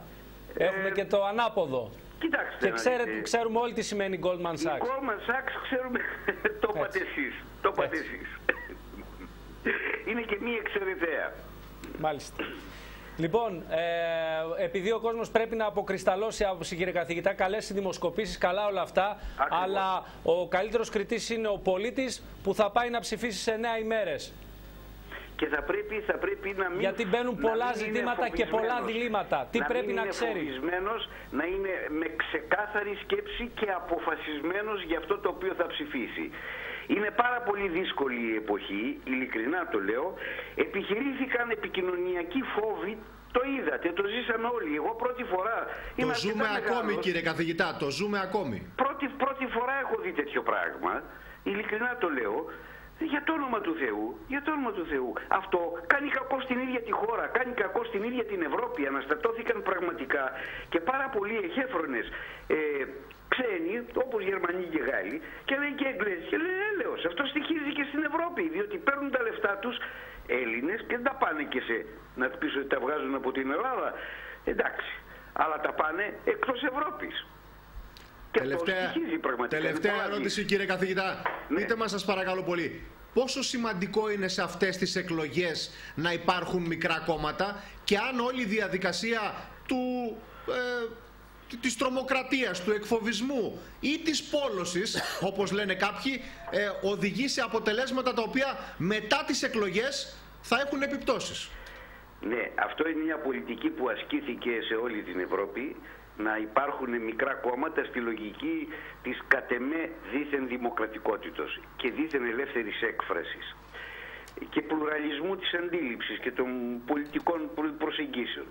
Ε, Κατ' εμέ στην Ελλάδα αυτή τη στιγμή χρειάζονται όπως και να το κάνουμε αυτοδύναμες κυβερνήσεις, ισχυρές κυβερνήσεις γιατί βρισκόμαστε σε μια φάση που πραγματικά το να διαπραγματευτούμε σημαίνει ότι αυτός που θα διαπραγματευτεί είναι, πρέπει να είναι ισχυρός δεν μπορεί ε, κόμματα ή πρωθυπουργοί ή προσωπικότητες οι οποίες πίσω τους δεν έχουν την ισχυρή φωνή του λαού δεν μπορεί να τους πάρουν στα σοβαρά έτσι να σας το πω ας πούμε. Κατανοητός απόλυτα κύριε καθηγητά. Τελευταία ερώτηση για να κλείσουμε γιατί ναι. ο χρόνος είναι περιορισμένος. Πιστεύετε ότι αν ο ΣΥΡΙΖΑ δεν έχει αυτοδυναμία θα πάει και σε επόμενες εκλογές; Αυτό το λένε όλοι. Αυτό το λένε όλοι. Ναι, θα πάει. Μάλιστα. Ευχαριστούμε κύριε καθηγητά, να είστε καλά. Καλό βράδυ από τη Λαμία, να, είστε, καλά. Να είστε καλά. Λοιπόν, Γιώργο, θα πάμε σε ένα μικρό διαφημιστικό διάλειμμα. Θα επιστρέψουμε με οικονομικό και πολιτικό πάνελ. Να πω ότι από το στούντιο της Λαμίας θα είναι κοντά μας ο κύριος Γιάννης Λούκας, ο κύριος Βλαχογιάννης, ο κύριος Διαμαντάρας, ο κύριος Βογιατζής και από την Αθήνα οι υποψήφοι βουλευτές επικρατείας με τη Νέα Δημοκρατία, ο κύριος Ιωάννης Σπυρίδων και ο κύριος ε, Ζώης Πεπές. Πάμε σε μικρό διαφημιστικό διάλειμμα. Επιστρέφουμε σε λίγο με ζωντανή συζήτηση. Τώρα η εταιρεία αδελφή Καβαδία ΑΕ, συνεργαζόμενη με το νέο φορέα Mega Euronics, σας προσφέρει τις χαμηλότερες τιμές σε όλες τις ηλεκτρικές συσκευές. Σε εμά θα βρείτε αποκωδικοποιητές για το νέο ψηφιακό σήμα, καθώς και μεγάλες προσφορές σε όλες τις τηλεοράσεις, αποσύροντας την παλιά σας με νέας τεχνολογίας. Αδελφή Καβαδία, ποιότητα και οικονομία σε όλα μας τα είδη. Στις δύσκολες στιγμές, ο φίλος σου. Στις όμορφες στιγμές, ο φίλος σου. Σε κάθε στιγμή, ο φίλος σου. Φρέσκο γάλα λαμί, ο φίλος σου. Το γάλα λαμίας σε νέα συσκευασία. Φρέσκο γάλα λαμί. Ίδια γεύση και ποιότητα, τώρα με νέο πρόσωπο και όνομα. Φρέσκο γάλα λαμί. Ζητήστε το με το νέο του όνομα. Από τη βιομηχανία γάλακτος λαμίας. Βλέπει αυτό που δεν βλέπεις. Ζεσταίνει τα χέρια σου. Σε προειδοποιεί για τους κινδύνους. Το οδηγείς με το ένα δάχτυλο και παρκάρει μόνο του. Oh. Oh, ναι. Το νέο Corsa. The New O από την Opel. Με καινοτομίες ανώτερης κατηγορίας. Νέο Corsa 5η γενιάς. Αυτοκίνητο του 2015. Οδηγήστε το τώρα στο επίσημο δίκτυο Opel. 6 εκατομμύρια τεχνική έλεγχη οχημάτων. Σε 45 σημεία σε όλη την Ελλάδα. Για όλες τις κατηγορίες οχημάτων. Οτοβιζιόν. 10 χρόνια, όλα υπό έλεγχο, με το μεγαλύτερο δίκτυο ιδιωτικών κταίων στην Ελλάδα. Για τη φθιότητα, Καραφέρι ΣΕΠΕ. Μέλος του δικτύου ιδιωτικών κταίων Οτοβιζιόν. Ψάχνεις για υγραέριο; Το δίκτυο Gas Service παρέχει ολοκληρωμένες λύσεις πάνω στην υγραεριοκίνηση. 75 σημεία σε Ελλάδα και Κύπρο διασφαλίζουν την επένδυσή σου όπου και αν βρίσκεσαι. Δωρεάν after sale service σε όλα τα συνεργεία Gas Service. Εγχειρίδιο εγγύησης με μοναδικό serial number για τα εξαρτήματα και την καλή λειτουργία του κινητήρα. Κορυφαίες συσκευές Zavoli και Gas Service. Ίδιες επιδόσεις, ίδιες τελικές. Τώρα και σε FSI TSI. Τελευταία γενεά συσκευών Bora by Zavoli. Ενημερώσου στο autogas.gr. Με την εγγύηση της Gas Θεοδόρου. Για το νομό Θειότιδα Τσόγκας Διονύσης. Πρώτο χιλιόμετρο Λαμίας Φραντζή. Λαμία. Τηλέφωνο 22310 31440 και 6978 486 353. Τρακάρατε. Μην κάνετε σαν μικρά παιδιά. Ασφαλίστε το αυτοκίνητό σας στο ασφαλιστικό γραφείο Κωνσταντίνος Βουριώτης Παναγιώτης Ρεγκούζας και μείνετε φίλοι με τους άλλους οδηγούς. Το γραφείο μας συνεργάζεται με τις μεγαλύτερες ασφαλιστικές εταιρείες του χώρου για την πλήρη εξυπηρέτησή σας. Ασφάλειες Κωνσταντίνος Γουριώτης Παναγιώτης Ρεγκούζας. Κύπρου και Σόλωνος 19, πρώτος όροφος Λαμία. Τηλέφωνο επικοινωνίας 2231 4001 57 και 6977 770 526 6975 900 284. Ξυλεμπορική Λαμίας. Εκεί που το ξύλο είναι η πρώτη ύλη, η ξυλεμπορική είναι η πρώτη επιλογή. Ξυλεμπορική Λαμίας. Ποιοτικά υλικά και σύγχρονες προτάσεις. Μεγάλη ποικιλία χρωμάτων με λαμίνης MDF. Πάγκι, πατώματα laminate, ραμποτέ. Υλικά επιπλοποιίας, βιομηχανική ξυλία σε πολυσυχονδρική λιανική. Εισαγωγέας και διανομέας, κρόνοσπαν και ακρίτα. Ξυλεμπορική Λαμίας σημαίνει πείρα, γνώση, επαγγελματισμός. Ξυλεμπορική Λαμίας. Τέταρτο χιλιόμετρο Παλαιάς Εθνικής Οδού Λαμίας Αθηνών. Εισαγωγές και εμπορία Ιαπωνικών αυτοκινήτων και ανταλλακτικών Παναγιώτης Τάντος και Σία Ομικρον Ε. Έκθεση μεταχειρισμένων αυτοκινήτων μικρών φορτηγών 4x4 και 4x2. Μεταχειρισμένα Ιαπωνικά ανταλλακτικά αυτοκινήτων παντός τύπου. Κινητήρες εξελιγμένης τεχνολογίας, πετρελαίου και βενζίνης. Μηχανικά μέρη, καμπίνες, καρότσες. Μέρη φανοποιίας καινούριων και παλαιών μοντέλων και συνεργείο αυτοκινήτων. Παναγιώτης Τάντος και Σία Όμικρον Ε. Τραγάνα Λοκρίδος. 135ο χιλιόμετρο Εθνικής Οδού Αθηνών Λαμίας. Κόμβος Τραγάνας. Τηλέφωνα 22 330 92 360 και 92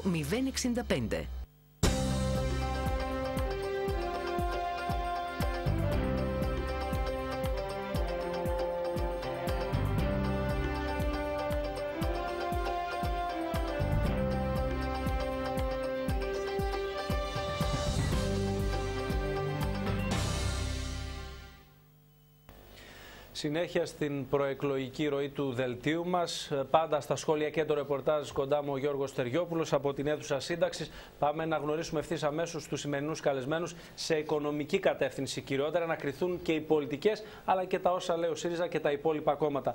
Θα καλησπερίσω τον κύριο Γιάννη Βλαχογιάννη, πρόεδρο του Εμπορικού Συλλόγου Λαμίας. Καλησπέρα κύριε Βλαχογιάννη. Καλησπέρα κύριε Βούτσινε, καλησπέρα κύριε Στεριόπουλε.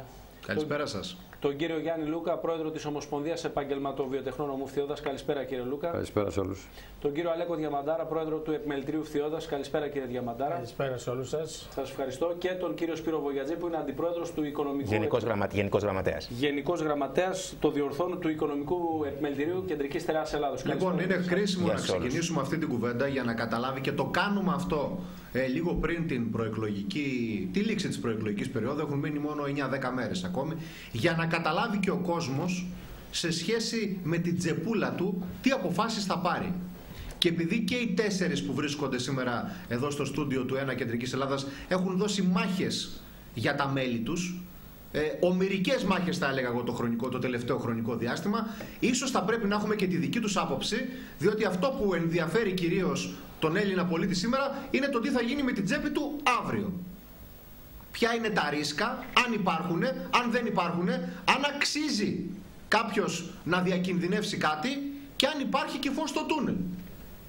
Εγώ αυτό θέλω να κάνω ως αρχική έτσι, τοποθέτηση, διότι ε, όλοι αυτοί που χειρίζονται την οικονομία και οι εκπρόσωποι που έχουμε εδώ σήμερα είναι εκπρόσωποι που ζουν δίπλα στον επαγγελματία ε, στην αγορά μέσα. Που, που περνάει απίστευτα βάσανα αυτή την περίοδο να εξηγήσουν λίγο στον κόσμο ε, κατά τη δική τους άποψη πώς πρέπει να λάβουν τις αποφάσεις τους. Γιατί το να μιλάει μόνο ο πολιτικός, μόνο ο υποψήφιος δεν είναι καλό για να υπάρχουν και καθαρές φωνές.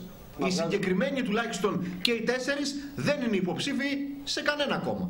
Άρα δεν είναι να τα πούν καλύτερα. Δεν είναι πάνελ υποψηφίων αυτό το απόψινο. Λοιπόν, κύριε Βλαχογιάννη, ξεκινούμε από εσάς. Ευχαριστώ. Θα κρατήσω αυτό που είπε ο κύριος Τριόπουλος. Εμείς δώσαμε αγώνες ομοιρικού το προηγούμενο χρονικό διάστημα. Αγώνες που είχαν να κάνουν με τα μέλη που είναι γραμμένα στα πρωτοβάθμια και δευτερομάθμια συνδικαλιστικά όργανα. Να κερδίσουμε οποία... χρόνο, κύριε Βλαχογιάννη. Τι, πρέπει, τι πρέπει να έχει στο μυαλό του ο πολίτης πηγαίνοντας στο παραβάν, κατά την εκτίμησή σας; Κατά την εκτίμησή μου, αυτό που θα πρέπει να έχει στο μυαλό του ο πολίτης πηγαίνοντας στο παραβάν, και αυτό που λέω το λέω επί μορφή μασημένη στροφής, θα πρέπει πρώτον να ψηφίσει όχι μικρούς ανθρώπους. Γιατί αυτοί υπάρχουν σε όλα τα κόμματα. Θα πρέπει να ψηφίσει ανθρώπους οι οποίοι να είναι αποφασισμένοι να κάνουν προτάσεις και να δώσουν αγώνες προκειμένου η χώρα να βγει από το αδιέξοδο στο οποίο βρίσκεται. Να προτείνουν λύσεις προκειμένου οι κοινωνικές ομάδες να μπορέσουν να ξεκολλήσουν από το βάλτο στον οποίο έχουν κολλήσει. Και τρίτο και κυριότερο, να ψηφίσει ανθρώπους οι οποίοι δεν είναι φθαρμένοι και δεν έχουν να κάνουν με κολεγέ οι οποίες είδαμε που μας καταντήσαν. Κύριε Λούκα. Είπε κάτι σημαντικό ο Γιάννης νωρίτερα και θα επεκτείνω σε, αυτή, σε αυτό το επίπεδο. Υπάρχουν συγκεκριμένες αιτίες που όλους εμάς μας οδήγησαν εκεί που μας οδήγησαν και το σύνολο της κοινωνίας, αλλά κυρίως την αγορά την έχουν τσακίσει εντελώς. Το 1 τρίτο των επιχείρησεων έχει κλείσει και η τελευταία έρευνα του ΙΜΕ της ΓΕΣΕΒΕ έχει δείξει στο σύνολο της κοινωνίας ότι το 1 τρίτο του πληθυσμού έχει αδυναμία να ανταποκριθεί στις ανάγκες της καθημερινότητας με τις νέες υποχρεώσεις που του έχουν ε, επιβληθεί.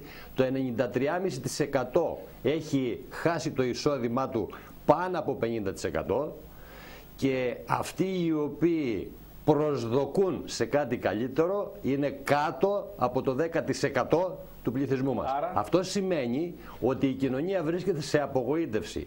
Τι πρέπει να σκεφτεί ο πολίτης για να αποφασίσει. Εμείς δεν μπορούμε σε καμία περίπτωση να πάρουμε θέση υπέρ κανενός κόμματος, γιατί η υποχρέωσή μας είναι να καταδεικνύουμε τα στραβά και να διεκδικούμε το καλύτερο για τα μέλη μας. Αυτό όμως το οποίο εμείς απαιτούμε από τους πολιτικούς, όσος χρόνος έμεινε, διότι μέχρι τώρα δεν έχει συμβεί, είναι να μας πούν με σαφήνεια τι θα κάνουν αύριο το πρωί; Όχι μόνο σε οικονομικό επίπεδο, γιατί ακούω συνέχεια τις τελευταίες μέρες να περιστρέφονται γύρω από το χρέος όλοι, μόνη κουβέντα είναι να ρωτάνε το ΣΥΡΙΖΑ που θα βρεις τα λεφτά, ο ΣΥΡΙΖΑ να λέει θα μοιράσω λεφτά και διάφορα τέτοια. Και κανείς δεν ασχολείται, δεν ασχολείται με το γενικότερο πρόβλημα που είναι κοινωνικό, είναι πολιτικό, είναι πρόβλημα δικαιοσύνης, είναι σε πολλά επίπεδα το πρόβλημα το οποίο εν τέλει γίνεται οικονομικό. Κυρίως όμως είναι πολιτικό διότι οι πολιτικοί αρνούνται να πούν με σαφήνεια στους πολίτες τι θα κάνουν αύριο το πρωί και λέω ένα παράδειγμα. Ρυθμίσεις χρεών στις επιχειρήσεις. Κανείς δεν είπε με σαφήνεια τι θα κάνει αύριο το πρωί. Ούτε ο ΣΥΡΙΖΑ. Ούτε ένας δεν είπε ακριβώς τι θα κάνει. Το, το 84 θα το πάω εκεί και οριστολογίες και ε, αντιφάσεις σε αυτά που λένε. Κάθε μέρα να ακούμε από διάφορες πλευρές για το ίδιο ζήτημα.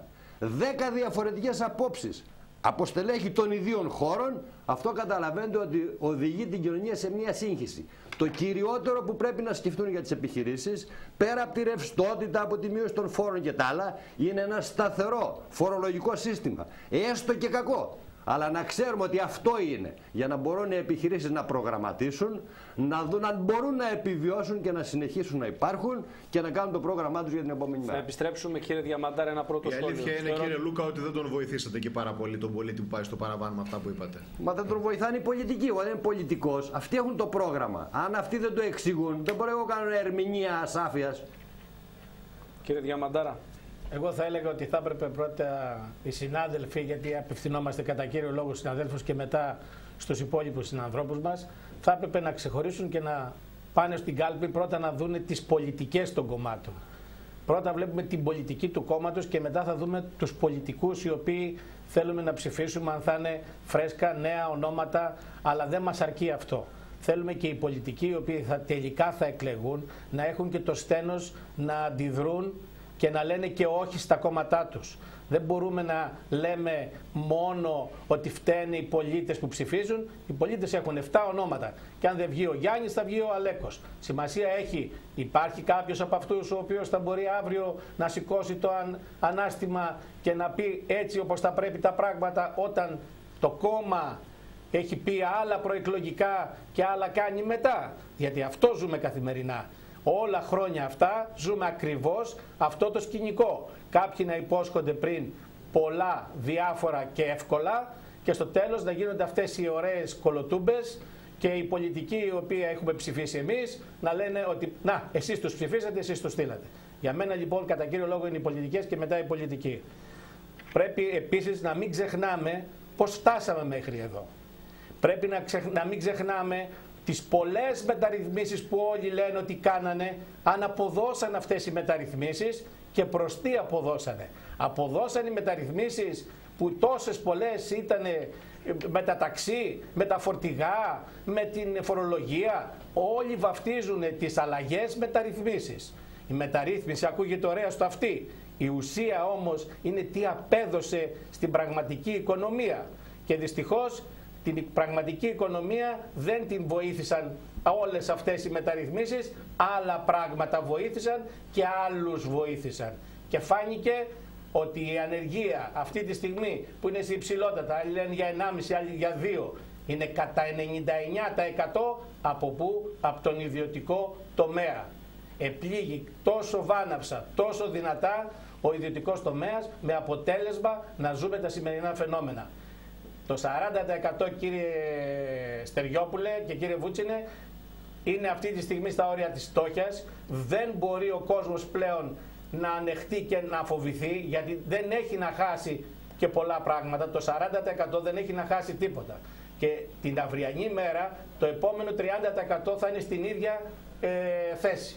Συνεπώς ας πάμε η πολιτική, ας πάνε οι πολιτικοί μας με καθαρές θέσεις και με θέσεις οι οποίες να λύνουν προβλήματα και όχι να πηγαίνουμε στην Ευρώπη να λέμε κάνουμε διαπραγμάτευση και λέμε από την άλλη αυτή είναι σταθερή η θέση, εκείνη η σταθερή η θέση, τότε τι διαπραγματευόμαστε; Τις σταθερές θέσεις που τις οποίες έχουμε προαναγγείλει εκ των ε, νωρίτερα; Ναι. Είναι απαράδεκτο. Κύριε Βογιατζή. Ναι, εγώ αυτό το οποίο νομίζω πως πρέπει να ξεχωρίσουμε είναι ότι είναι η πρώτη φορά που βλέπουμε εκλογές που δεν βασίζονται σε αντιπαράθεση ιδεολογιών, προτάσεων, πολιτικών, αλλά σε αντιπαράθεση συναισθημάτων. Είναι λοιπόν μια προσπάθεια ε, κατευθυνόμενη αφενός από τη Νέα Δημοκρατία, από την κυβέρνηση γενικότερα, να τρομοκρατήσει, να επικαλεστεί το φόβο, να εκφοβήσει τους πολίτες. Από την άλλη, ε, μια προσπάθεια από την αξιωματική αντιπολίτευση ουσιαστικά να τάξει τα πάντα στους πάντες. Εγώ λοιπόν νομίζω, εκμεταλλευόμενοι τον θυμό. Ο φόβος και ο θυμός συγκρούονται σε αυτές τις εκλογές. Άρα, αυτό που έχει να κάνει ο πολίτης είναι να πάει με καθαρή σκέψη, με κριτική σκέψη, με λογική και να κατανοήσει το εξής ότι οι διαχωριστικές γραμμές δεν πάνε μνημόνιο, αντιμνημόνιο όπως πέντε χρόνια συζητάμε. Οι διαχωριστικές γραμμές έχουν να κάνουν με την ιδεολογία των κομμάτων και κυρίως για να το βάλουμε στο κομμάτι το οικονομικό, μια και αυτή είναι η δική μου ειδικότητα και εκπροσωπώ το οικονομικό επιμελητήριο, να καταλάβουμε ότι η οικονομική πολιτική δεν καθορίζεται από την Ελλάδα. Η Ελλάδα δεν είναι το κέντρο του σύμπαντος, η Ελλάδα δεν είναι το κέντρο της Ευρώπης. Η Ελλάδα επηρεάζεται, αλλά πολύ δύσκολα μπορεί να επηρεάσει, καθώς αντιστοιχούμε στο 2% περίπου του ευρωπαϊκού ε, ακαθάριστου προϊόντος. Άρα αυτό πρέπει να το έχουμε στο μυαλό μας και να καταλάβουμε ότι οι πολιτικές μας θα πρέπει να είναι πολιτικές που να μπορούν να βρίσκουν ανταπόκριση και εφαρμογή στην Ευρώπη. Αυτό είναι πάρα πολύ βασικό για το οτιδήποτε αποφασίσουμε να κινηθούμε. Πάμε σε ένα κύκλο ακόμα. Θα ζητήσω απλά να είστε λίγο πιο, λίγο πιο συγκεκριμένοι. Η ερώτηση λοιπόν είναι η εξής. Θα ακροβατήσω στην ερώτηση αυτή. Ε, δεν θα ζητήσω να επιλέξετε πολιτικές ανάλογα με τις ε, ε, με ό,τι έχουμε διαβάσει από τα προγράμματα των κομμάτων, όμως πρέπει να το θέσω ακριβώς έτσι. Και θα ξεκινήσω από αυτό που είπε ο κύριος Διαμαντάρας, επειδή μιλάμε κυρίως στις δικές σας κατηγορίες πολιτών και μετά στους υπολείπους. Όμως πλήττονται και οι υπόλοιπες κατηγορίες, επειδή πλήττονται οι δικές σας κατηγορίες. Ποιο θεωρείτε πιο φιλικό ως πρόγραμμα, όχι κόμματος, στρατηγικής αυτή την περίοδο, υπό αυτές τις συνθήκες, για να βγει από το αδιέξοδο ο μικρομεσαίος και ο επαγγελματίας. Ρεαλιστικά. Ρεαλιστικά. Δεν θα σκεφτόμαστε μόνιμα το φως στο τούνελ. Γιατί άμα πεθάνεις σήμερα, αύριο ή μεθαύριο, τι να το κάνεις να το περιμένεις το φως στο τούνελ. Παρακαλώ κύριε. Κύριε Βλαγογιάννη. Το πρόγραμμα που ζητάτε να σχολιάσουμε όσον αφορά αυτά που έχουμε ακούσει μέχρι τώρα από τα κόμματα δεν το έχουμε ακούσει από κόμματα, το έχουμε ακούσει μόνο από τα τριτοβάθμια συνδικαλιστικά μας όργανα, ΕΣΕ και ΓΕΣΕΒΕ. Κατάργηση του 26% από το πρώτο ευρώ, μείωση του ΦΠΑ, κατάργηση του 55% προκαταβολή, άνοιγμα διάβλου επικοινωνίας πρώτον και δεύτερον χορήγησης δανείων τουλάχιστον μέχρι ένα ποσό στις επιχειρήσεις οι οποίες το έχουν ανάγκη μέσα από τις τράπεζες, οι οποίες έχουν κλείσει τους χρονού της βοήθειας και γενικώς βοήθεια της μικρομεσαίας επιχείρησης, αυτή που εμείς εκπροσωπούμε. Η μικρομεσαία επιχείρηση είναι το 50% των εργαζομένων αυτή τη στιγμή στη χώρα. Μπορεί και μεγαλύτερο να είναι το ποσοστό. Αυτοαποσχολούμενοι και υπάλληλοι μέσα σε αυτές τις επιχειρήσεις. Τέτοιου είδους πρόγραμμα δεν έχουμε ακούσει από κανένα από τα κόμματα τα οποία ερίζουν για τη διακυβέρνηση αυτού του τόπου. Αυτό λοιπόν προτείνουμε εμείς και έχουν μερικές μέρες μπροστά τους να το συμπεριλάβουν στο πρόγραμμά τους, να το ρετουσάρουν και να μας το πούν. Το κόμμα που θα το πει πρώτο πιστεύω ότι θα είναι και το κόμμα που θα πάρει και τις περισσότερες ψήφους τουλάχιστον από το δικό μας κλάδο. Κύριε Λούκα, σε εσάς. Κοιτάξτε τώρα, να εκτιμήσει κανείς ποιο πρόγραμμα είναι πιο φιλικό κατά την εκτίμηση τη δική μου στις επιχειρήσεις, σημαίνει ότι εγώ παίρνω θέση υπέρ συγκεκριμένου κόμματος και δεν θα το κάνω. Αυτό που είπε ο Γιάννης έχει την ε, αξία του. Ωστόσο, ο κ. Βογιατζής νωρίτερα μίλησε για ιδεολογίες που δεν γίνεται επ' αυτού του επίπεδου η κουβέντα σήμερα η πολιτική. Εγώ θα πω και κάτι άλλο. Ότι έχει εκπέσει εντελώς ο πολιτικός διάλογος και εκλείπει εντελώς η σαφής πρόταση του οποιοδήποτε. Το να λέει κανείς σήμερα Κάποιοι από εδώ και κάποιοι από εκεί. Εμείς είμαστε κεντροαριστεροί. Πέντε κόμματα κεντροαριστερά. Εμείς είμαστε κεντροδεξιοί. Αλλά τόσα κεντροδεξιά. Σημαίνει ότι και οι μεν και οι δε που επικαλούνται αυτό παριστάνουν ένα εκρεμές που στην άκρη του έχει ένα αγκίστρι και αλλιεύει μια από τα δεξιά, μια από τα αριστερά ψήφους. Αυτό δεν είναι πολιτική φιλοσοφία. Η αριστερά είναι συγκεκριμένη και έχει συγκεκριμένη ιδεολογία η δεξιά είναι συγκεκριμένη και έχει συγκεκριμένη ιδεολογία. Γιατί δεν μας τη λένε παραμυθιάζουν τον κόσμο. Γι' αυτό και σε παλιότερη κουβέντα είπα ότι η πολιτική είναι η τέχνη της εξαπάτησης. Λένε τώρα διάφορα πράγματα, αλλιεύοντας από εδώ, από εκεί, από μπορούν, από το κέντρο, από τη μέση, από τη δεξιά, από αριστερά. Και στο τέλος, όταν θα έρθουμε την επόμενη μέρα των εκλογών, θα εφαρμόζουν πρόγραμμα που εμείς δεν γνωρίζουμε, δεν μας το λένε σήμερα ξεκάθαρα για να αποφασίσει ο πολίτης, διότι φοβούνται ότι έτσι το εκρεμές θα αλλιεύει μόνο από μια πλευρά. Όχι από εδώ και από εκεί, από το κέντρο.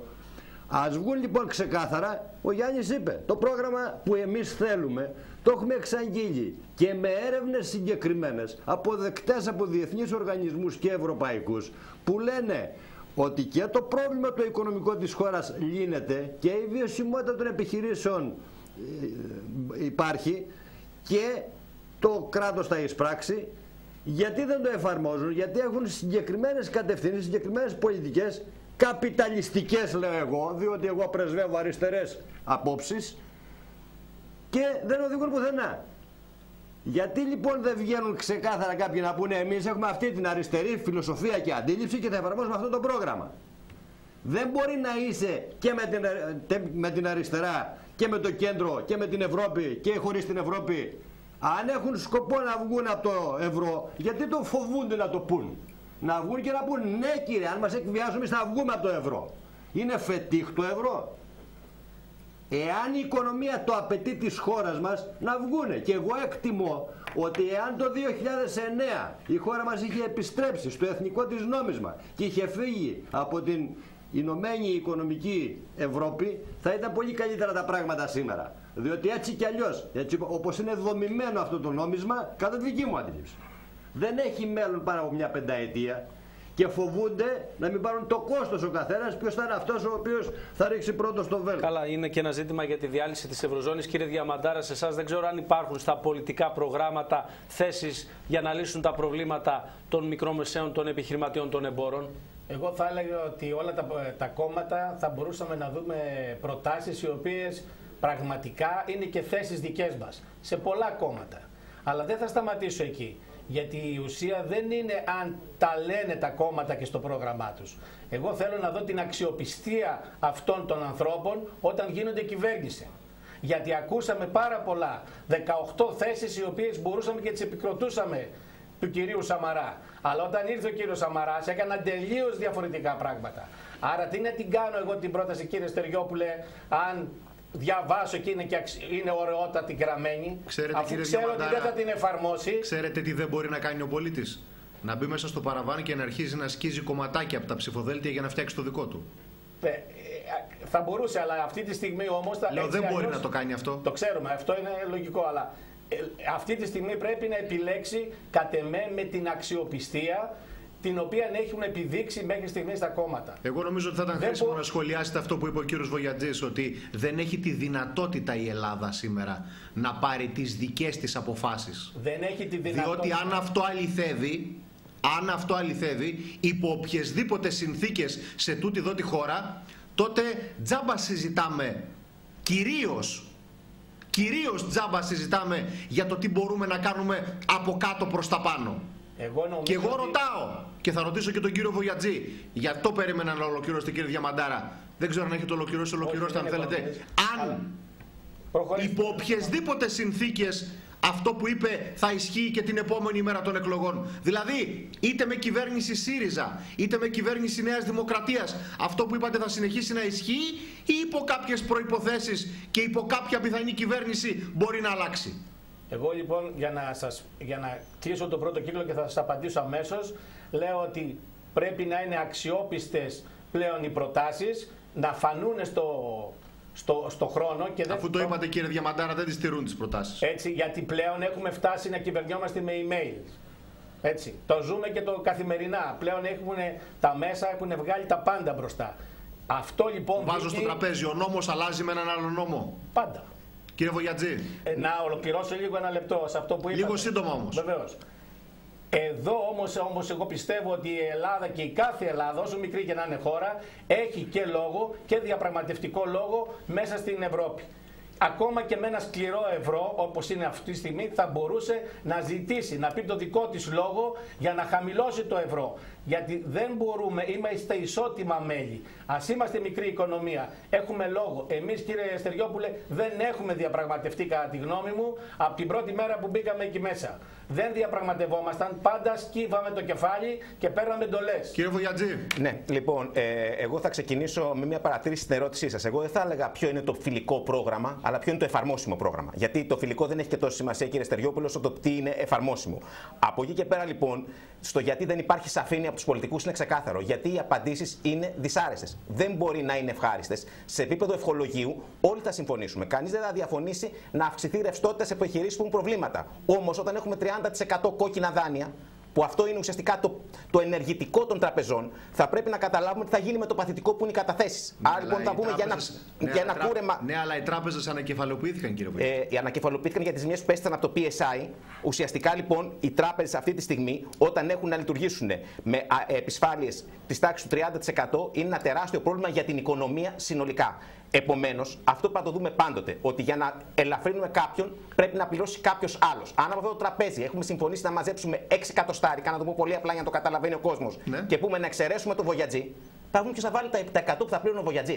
Αυτό πρέπει να το κατανοήσουμε. Έβαλαν γιατί όλοι αυτό τα ίδια ακριβώ. το προηγούμενο χρονικό διάστημα, κύριε Βογιατζή. Τι είπατε; Έβαλαν όλοι τα ίδια. Όχι βέβαια, όχι βέβαια, όχι βέβαια. Αλλά λοιπόν Πείτε τα το κι αυτά ζήτημα όμως. είναι πώς μπορεί να γίνει μια δίκαιη Πείτε τα κατανομή και αυτά των όμως, βάρων. διότι το έχω πει και θα το ξαναπώ. Α, αναγκάζομαι Ναι. να το λέω συνέχεια. Υπάρχει κάποιος που διαφωνεί ότι το 90% του πλούτου το έχει το 10% και το Όχι ανάποδο βέβαια, μετά. όχι, και μην ξεχνάτε πως εγώ... Μόνο που, αυτό, μόνο που αυτός που έχει το 90% του πλούτου δεν έχει την ίδια αντιμετώπιση με τους υπόλοιπους που είναι φτωχοί. Συμφωνούμε απόλυτα, κύριε Στεργιόπουλο. Μην ξεχνάτε πως εκτός από μέλος του Οικονομικού Επιμελητηρίου είμαι και επιστημονικός εργάτης του Συνέδριου Εργασίας της ΓΕΣΕ. Άρα έχω ένα λόγο παραπάνω αυτά που λέτε να πω ότι όντως έτσι είναι και εμείς μέσα από τις επιστημονικές μας μελέτες τα αναδεικνύουμε. Το ζήτημα όμως τι γίνεται. Αυτό ενδιαφέρει τον κόσμο. Και στέκομαι λοιπόν σε ένα ζήτημα που έθεσε σωστά ο κύριος Λούκας. Αριστερά. Τι σημαίνει σήμερα αριστερά και ποιος είναι ο ρόλος της αριστεράς σήμερα σε μια Ευρώπη; Γιατί εγώ επιμένω ότι το θέμα των πολιτικών μας πρέπει να το δούμε σε ευρωπαϊκό επίπεδο και όχι μόνο σε ελληνικό. Δεν εννοούσα ότι δεν μπορούμε να διαπραγματευτούμε. Εννοούσα όμως, και το λέω και να το ξεκαθαρίσω,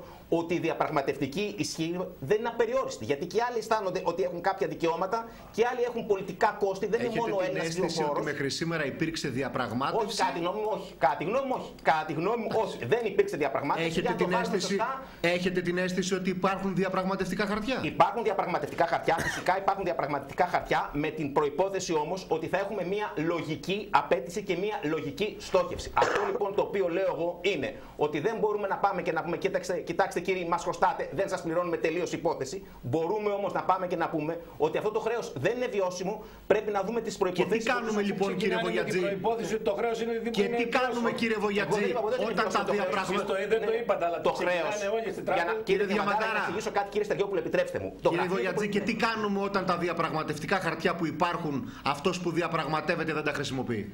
Έχουμε επιλέξει λάθος διαπραγματευτή, τότε είναι προφανές. Έχουμε επιλέξει λάθος διαπραγματευτή, άρα εδώ είναι η ευθύνη του πολίτη. Γι' αυτό ότι πρέπει να πάει όχι με συνέστημα, αλλά με ρεαλισμό, με καθαρή σκέψη και έχοντας ξεκαθαρίσει τι επιδιώκει, τι θέλει να βγάλει από όλη αυτή τη διαδικασία. Γιατί εδώ βλέπω και την ευθύνη του πολίτη και να το εννοήσω, να το εξηγήσω. Δεν είναι δυνατόν να έχουμε στις δημοσκοπήσεις 70% Θέλουμε να μείνουμε και 75 πάση θυσίας στο ευρώ και την ίδια στιγμή οι ίδιοι πολίτες να λένε σε 70-80% όχι Βογιατζή, στο μνημόνιο. κύριε Άρα Βογιατζή, το πολίτη έχει ευθύνη. Για κύριε να το Στεργόπουλο. λήξουμε αυτό, αυτή την καραμέλα να την τελειώσουμε. Ναι. Οι δημοσκοπήσεις είναι δημοσκοπήσεις εταιριών. Συμφωνώ απόλυτα. Οι συμφωνώ εταιρείες απόλυτα. είναι συγκεκριμένες επιχειρήσεις Με που, συγκεκριμένα πληρώνονται, συμφέροντα. που Με συ- πληρώνονται τα τελευταία 40 χρόνια από συγκεκριμένους. Εγώ επισημαίνω τις Να μην το αντιφα- καταλαβαίνει όλος ο κόσμος τι συμφωνούμε, λέω. Κύριε Στεριόπουλε, συμφωνούμε απόλυτα. Εγώ επισημαίνω, προσέξτε λέω, επισημαίνω τις αντιφάσεις που προκύπτουν μέσα από αυτές τις δημοσκοπήσεις, τις οποίες εν πάση περιπτώσει αυτές έχουμε. Και η αντίφαση είναι ότι ο πολίτης λέει, ή τουλάχιστον εμφανίζουν οι δημοσκοπήσεις να λέει, πάση θυσία στο ευρώ σε ποστά πολύ μεγάλα, 70-75% και την ίδια στιγμή στα ίδια ψηλά ποσοστά, όχι στο μνημόνιο. Και επιτρέψτε να πω κάτι, χωρίς να ξέρει καν ο πολίτης πολλές φορές τι είναι το μνημόνιο. Ότι το μνημόνιο είναι μια σύμβαση που σου βάζει κάποιες υποχρεώσεις, τις οποίες τις έχουν αποφασίσει οι κυβερνήσεις που εμείς επιλέξαμε και σου δίνει κάποια χρήματα. Έτσι έχουν αποφασίσει οι κυβερνήσεις. Οι Τι κυβε- έχουν πάρει με email. Ε, ναι, ε, η- εγώ ψηφίζω κυβερνήσεις, δεν ψηφίζω υπαλλήλους της Τρόικας. Άρα, εγώ κρίνω τις κυβερνήσεις τις οποίες έχω ψηφίσει ή δεν έχω ψηφίσει. Αυτού κρίνω. Από εκεί πέρα είναι θέμα πολιτικής συνείδησης και ευθυκρισίας του κάθε πολιτικού κατά πόσο μπορεί να ασχίσει την πολιτική που θέλει. Εμένα δεν με ενδιαφέρει, κύριε Διαμαντά, αν του το έχουν επιβάλει με email. Αυτό είναι δικό του πρόβλημα. Εμείς λοιπόν λέμε. Μόνο που έχει αντίκτυπο και σε εμάς. Φυσικά. Άρα λοιπόν γι' αυτό είπα ότι θα πρέπει να ψηφίσουμε με λογική και κρίνοντας τους ανθρώπους. Γιατί ξέρουμε ποιοι είναι. Ξέρουμε ποιοι είναι. Έχουν κριθεί και στις κυβερνητικές θέσεις και σε αντιπολιτευτικέ θέσεις από το λόγο τους. Επομένως, επανέρχομαι στο ζήτημα της αριστεράς, που είναι για μένα σημαντικό τότε ο κύριος Λούκας. Πρέπει να προσδιορίσουμε τι εννοούμε σήμερα αριστερά. Γιατί πιστεύω ότι το μεγάλο πρόβλημα είναι ότι από το 1990 και μετά έχει υπάρξει μια αποτυχία πραγματικά της αριστεράς να δημιουργήσει μια αξιόπιστη πρόταση και αυτό είναι που σήμερα πρέπει να δούμε. Ποια μπορεί να είναι η σύγχρονη σοσιαλδημοκρατία στην Ευρώπη που μπορεί να δώσει λύσεις. Και αν αυτές οι λύσεις πρέπει να είναι μέσα από το ευρώ ή έξω από το ευρώ. Καλά έκανε ο κύριος Λούκας και είναι ο πρώτος που το έθεσε από το πάνελ το ερώτημα. Εγώ δεν συμφωνώ με την άποψή του ότι πρέπει να δούμε και την έξοδο από το ευρώ. Νομίζω πως το πρόβλημα δεν είναι το νόμιζα, όμως πρέπει να το συζητήσουμε και πρέπει να δούμε τι Ευρώπη θέλουμε. Επειδή είμαστε μια μικρή χώρα, μπορούμε να παλέψουμε καλύτερα μέσα από την Ευρώπη. Τα ίδια προβλήματα που αντιμετωπίζουμε εμεί σήμερα θα τα αντιμετωπίσουν και οι λαοί του ευρωπαϊκού πυρήνα στο μέλλον.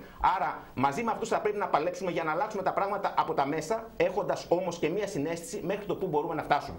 Αυτή είναι η άποψή μου.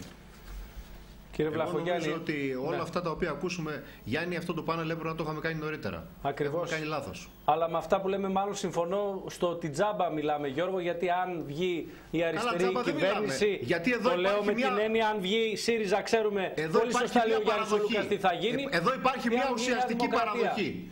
Ότι έχουμε διαπραγματευτικά όπλα τα οποία κάποιοι δεν βάζουν στο τραπέζι. Είναι γνωστό αυτό κύριε Στεριόπουλε. Όταν παραδεχόμαστε από την αρχή ότι το χρέος είναι βιώσιμο, τι πάμε να διαπραγματευτούμε μετά; Τι να διαπραγματευτούμε; Θα σας πω προσωπική μου εμπειρία που ήμουν στο τραπέζι με τον κύριο Βρούτσι. Του λέγαμε πώς θα λύσουμε και θα δώσουμε διέξοδο στον ΟΑΕ και να βάλουμε λεφτά στον ΟΑΕ και μου λέει δεν μπορώ να το βάλω στην Τρόικα. Γιατί λέει θα θεωρηθεί ρύθμιση. Μα εδώ δεν είσαι για να, για να βάλεις, αν τρέπεσαι την Τρόικα, εδώ να παραλύσουμε το πρόβλημα. Έχουμε ένα εκατομμύριο ανασφάλιστου. Το Λοιπόν, Ταμείο πάμε την καταρρεύει. κατανόησή σας λίγο τώρα.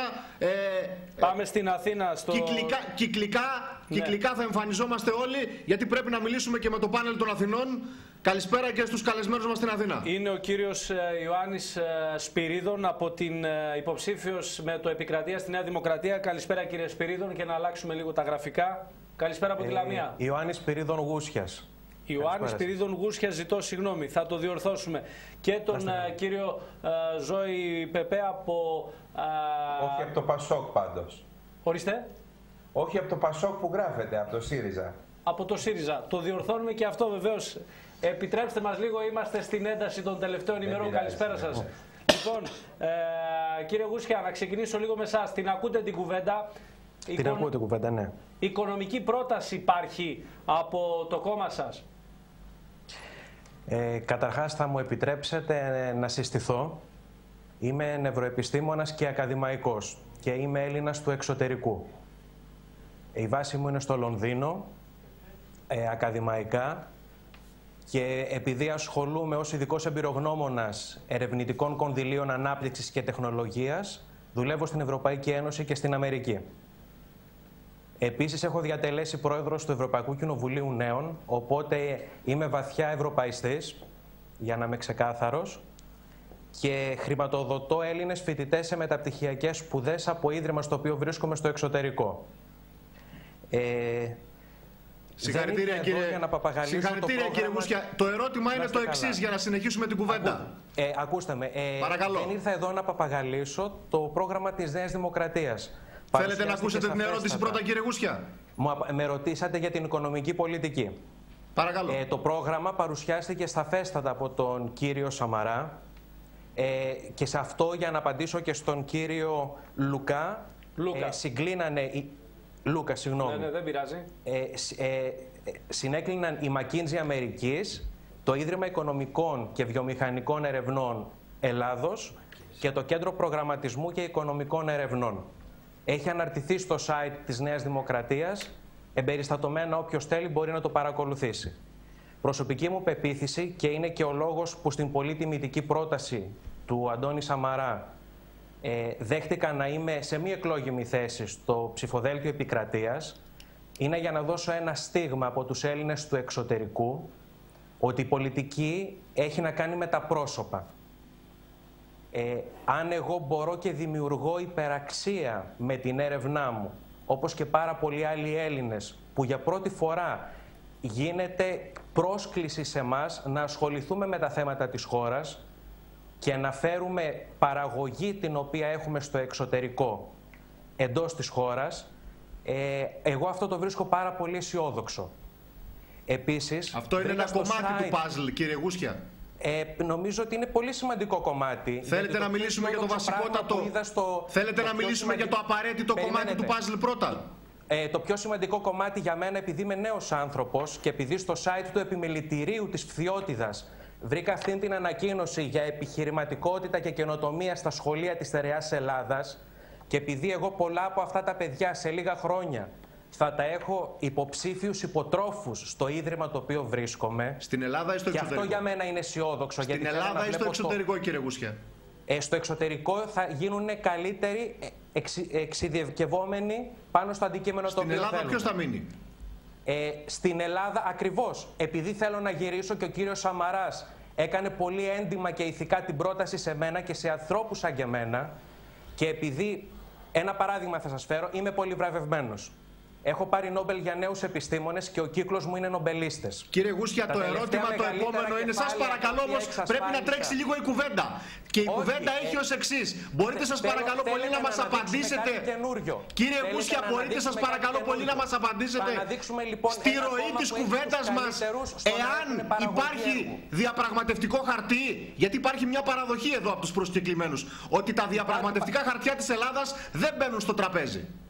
Ε, υπάρχει πολύ μεγάλο διαπραγματευτικό χαρτί και αυτό είναι τα ελληνικά κεφάλια που έχουν στελεχώσει πολύ μεγάλα πανεπιστήμια, εταιρείες, επιχειρήσεις και δημόσια πόστα σε όλη την Ευρώπη. Αυτό μπαίνει στη Και επειδή διαπραγμάτευση. Είναι εξαιρετικής Και τι ευθείας και εξυπηρετούν αυτά, κύριε παραγωγικότητας. Βασιλόβη, τι Και επειδή εξυπηρετούν ανήκουμε αυτά σε τα μια κεφάλαια. ένωση πολιτών εκτός από οικονομική, πιστέψτε με, οι Ευρωπαίοι δεν θέλουν να στερηθούν την ελληνική νόηση και το τι προσφέρουμε και στην επιστήμη και στην τεχνολογία και στον πολιτισμό από τους αρχαίους προγόνους μας είμαστε μέρος της Ευρώπης και είμαστε πολύ παραγωγικοί και εδώ και έξω. Και θα ήθελα να, η νέα γενιά την οποία εκπροσωπώ να είναι και περισσότερο αισιόδοξη για το πόσο μας αγκαλιάζει η Ευρώπη όταν έντιμα είμαστε παραγωγικοί. Μάλλον το δίκαιο τώρα όταν θα ήταν να αποδεικνύ- ακούσουμε τη, τη γνώμη του ανθρώπου που βρίσκεται δίπλα σας. Εγώ σας εκφράζω την, τη γνώμη μου μαζί με την ηλικία μου και μαζί με το ποιος είμαι και το πόστο που έχω έξω. Ευχαριστώ πολύ. Λοιπόν, κύριε Πεπέ, σε εσάς. Ναι, αν μου επιτρέπετε.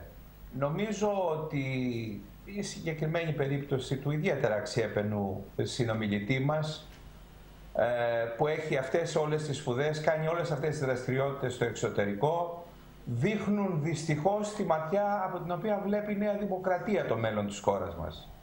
Τα παιδιά μας να βρίσκονται στο εξωτερικό, να διαπρέπουν. Αφού πράγματι εδώ έχουν πάρει ένα κύκλο σπουδών, διότι σε αυτή εδώ τη χώρα δεν ενδιαφέρθηκε κανείς όλο αυτό το διάστημα και ο σχεδιασμός που υπάρχει είναι αντίστοιχος, να βρεθούν εκείνα τα κοντήλια, να βρεθούν εκείνες οι διαδικασίες, να αξιοποιηθούν έτσι οι άνθρωποι, ώστε να παράγεται εδώ, στη χώρα μας, ε, πλούτος μέσα από τις νέες τεχνολογίες, την ε, ε, αξιοποίηση αυτών όλων των μυαλών και έχουμε γύρω στις 300.000 νέο κόσμο, τον καλύτερο κόσμο, να φεύγει στο εξωτερικό με υποτροφίες όπως είπε νωρίτερα ο συνομιλητής μας, βέβαια και ένα σωρό άλλα μυαλά, ένα σωρό άλλα νέα παιδιά να μην έχουν τη δυνατότητα ούτε να πάνε σχολείο.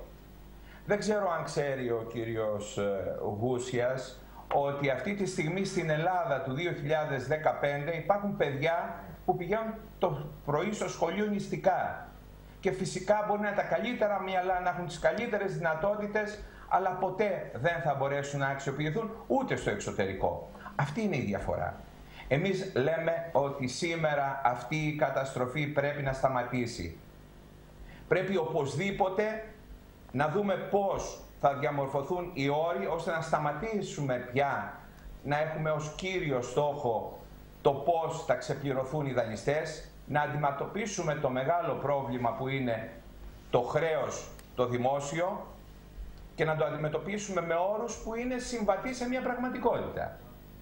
Αυτή τη στιγμή αυτό που έλεγε πριν από χρόνια ο ΣΥΡΙΖΑ και μάλιστα όταν ήταν μικρός που έλεγε ότι δεν είναι δυνατόν το χρέος να αντιμετωπιστεί εάν δεν υπάρχουν όροι ανάπτυξης και δεν διαμορφωθούν όροι ώστε αυτό το δάνειο το οποίο ο, μας, έ- αυτά τα δάνεια τα οποία έχουν γίνει βραχνάς να γίνει ένας λογιστικός έλεγχος, να δούμε πού πήγαν αυτά τα λεφτά, ποιο είναι το πραγματικό χρέος και με βάση αυτά να γίνει κούρεμα και να διαμορφωθούν οι συνθήκες για να πληρωθεί. Αυτό σήμερα είναι στην ημερήσια διάταξη της Ευρώπης.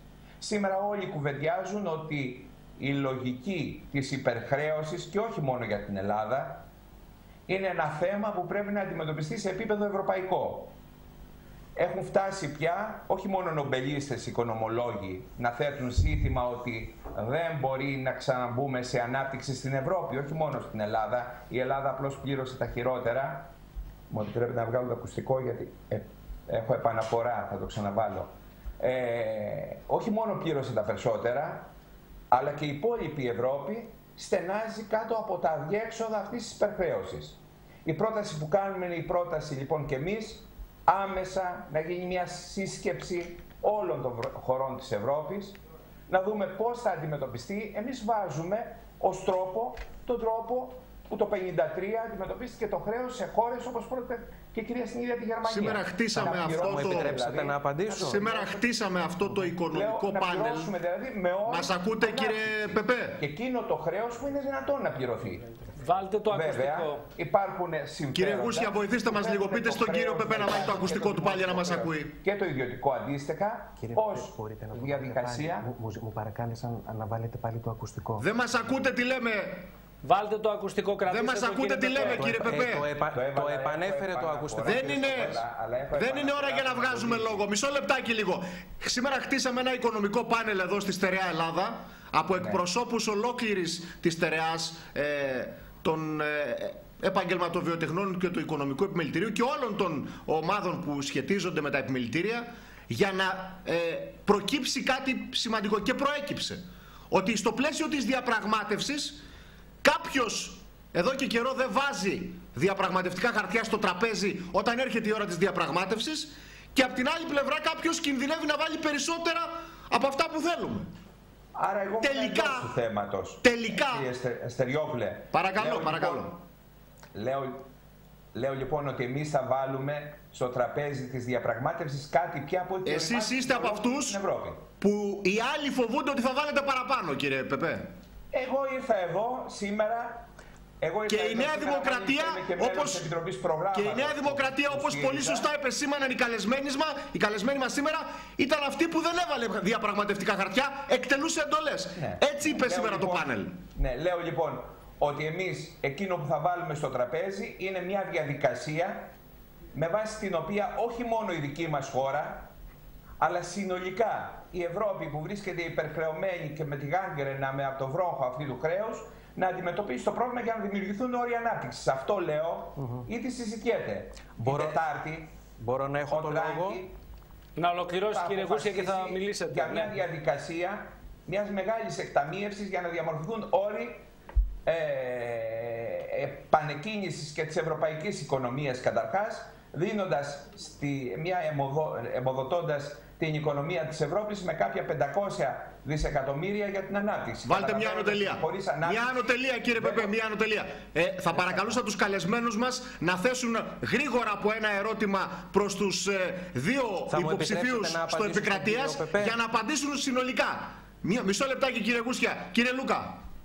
Καταρχήν να συγχαρώ τον ε, συνομιλητή μας τον κύριο Γουσία για τις περγαμηνές και να πω ότι αυτό το οποίο συμβαίνει με τις διάνοιες των Ελλήνων που βρίσκονται στο εξωτερικό.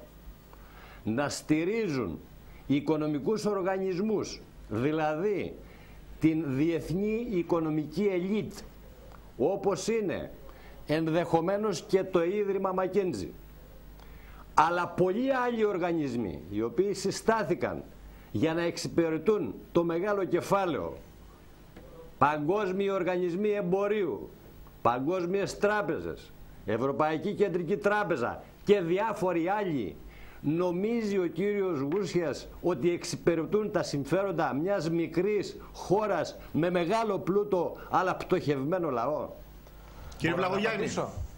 Απαντήσω. Καλησπέρα Ας και από κάνουνε- μένα. ας κάνουνε Α, θα όλοι- συγκεντρώσουμε τις ερωτήσεις. Ωραία. Σημειώστε Ναι, ναι, λίγο ναι, σας παρακαλώ. γιατί δεν για έχουμε να- και πολύ χρόνο, Ναι, Γιάννη. γιατί είναι περιορισμένος ωραία. ο χρόνος. Κύριε Βλαχογιάννη. Καλησπέρα και από μένα στους δύο υποψηφίους. Καλή επιτυχία και στους δύο. Αυτό που θα ήθελα να ακούσω, αν όχι από εσάς απόψε, τις επόμενες μέρες που μένουν από τα δύο κόμματα τα οποία εκπροσωπείτε. Ποιο είναι το πρόγραμμα για την υγεία, την παιδεία, την υπογεννητικότητα και ποια η θέση των κομμάτων. Όχι μόνο για τα κόκκινα δάνεια επισφαλή που έχουν οι τράπεζες, αλλά και για τους Έλληνες πολίτες που είναι στο κόκκινο.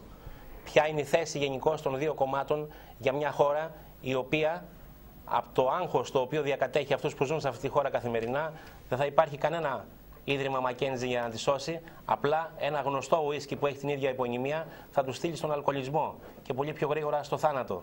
Αυτά θα ήθελα να ακούσω που δεν ακούγονται από κανέναν. Κύριε, Κύριε Διαμαντάρα. Ε, κύριε Γούζια, εγώ θα σας πω συγχαρητήρια, αλλά δεν είναι η πρώτη φορά που τα κόμματα φέρνουν ανθρώπους αξιόλογους από το εξωτερικό, αλλά πολύ γρήγορα αυτοί απογοητεύονται όταν βρίσκουν τείχουν μπροστά.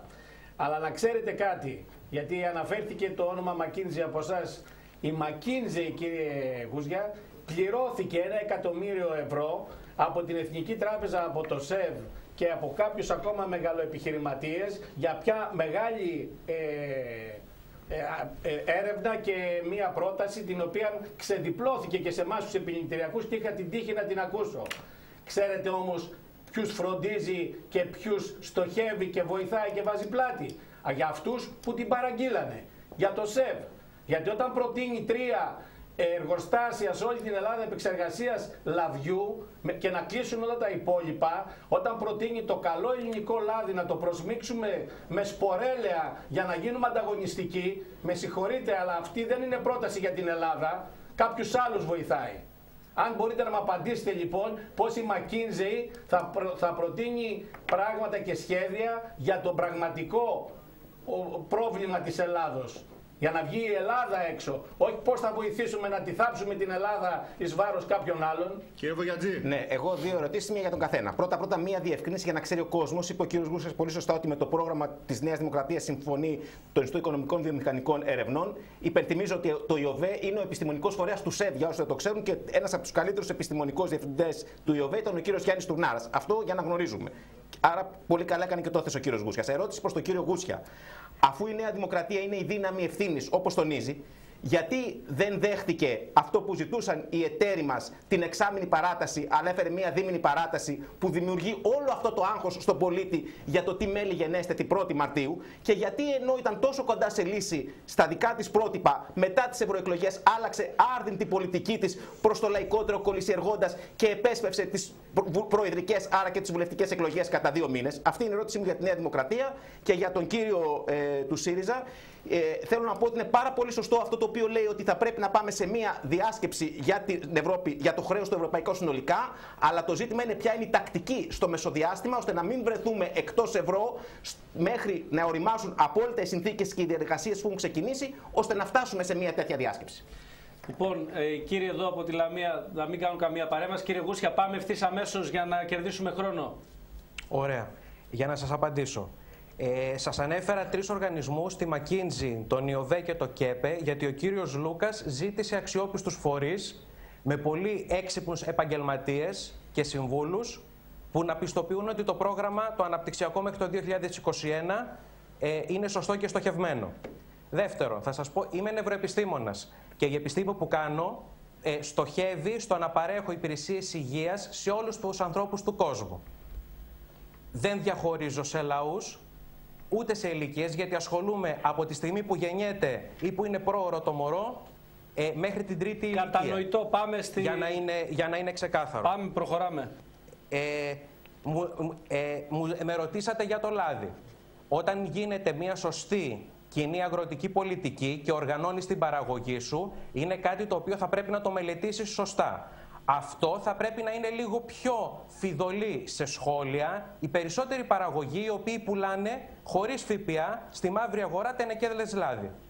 Για τον απλό παραγωγό ο οποίος δεν ανήκει σε έναν οργανωμένο συνεταιρισμό που αξιοποιούν το προϊόν τους. Αυτό είναι μία άκρη του θέματος. Η άλλη είναι το, η παραγωγή του λάμδα, το οποίο έχει μια φοβερή υπεραξία γιατί γίνεται με πολύ ξένα και οργανωμένα πρότυπα. Και είναι Έλληνας παραγωγός και έχουν προσκυνήσει ξένες εταιρείες στον τρόπο που διαχειρίστηκε την παραγωγή του και την διαφήμιση. Και δίνει υπεραξία στο ελληνικό λάδι.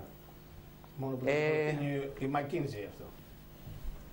Και τέλος να σας πω ότι επιμένω στην δυναμική των προσώπων, γιατί όταν στην έρευνά μου μπορεί ο πρόεδρος Ομπάμα να δώσει το 2013, τη μέρα που παρουσίασα την πλατφόρμα χαρτογράφησης εγκεφάλου στην Αμερική, 100 εκατομμύρια δολάρια και φέτος η Ευρωπαϊκή Ένωση θα ξεκινάει πρόγραμμα δετίας με ένα δισεκατομμύριο ευρώ μόνο για χαρτογράφηση εγκεφάλου. Επιστέψτε με, είναι η πρώτη φορά που Έλληνας πολιτικός σκύβει σε τέτοιες ευθείες και θέλει να έρθουν να κάνουν δουλειά στην Ελλάδα.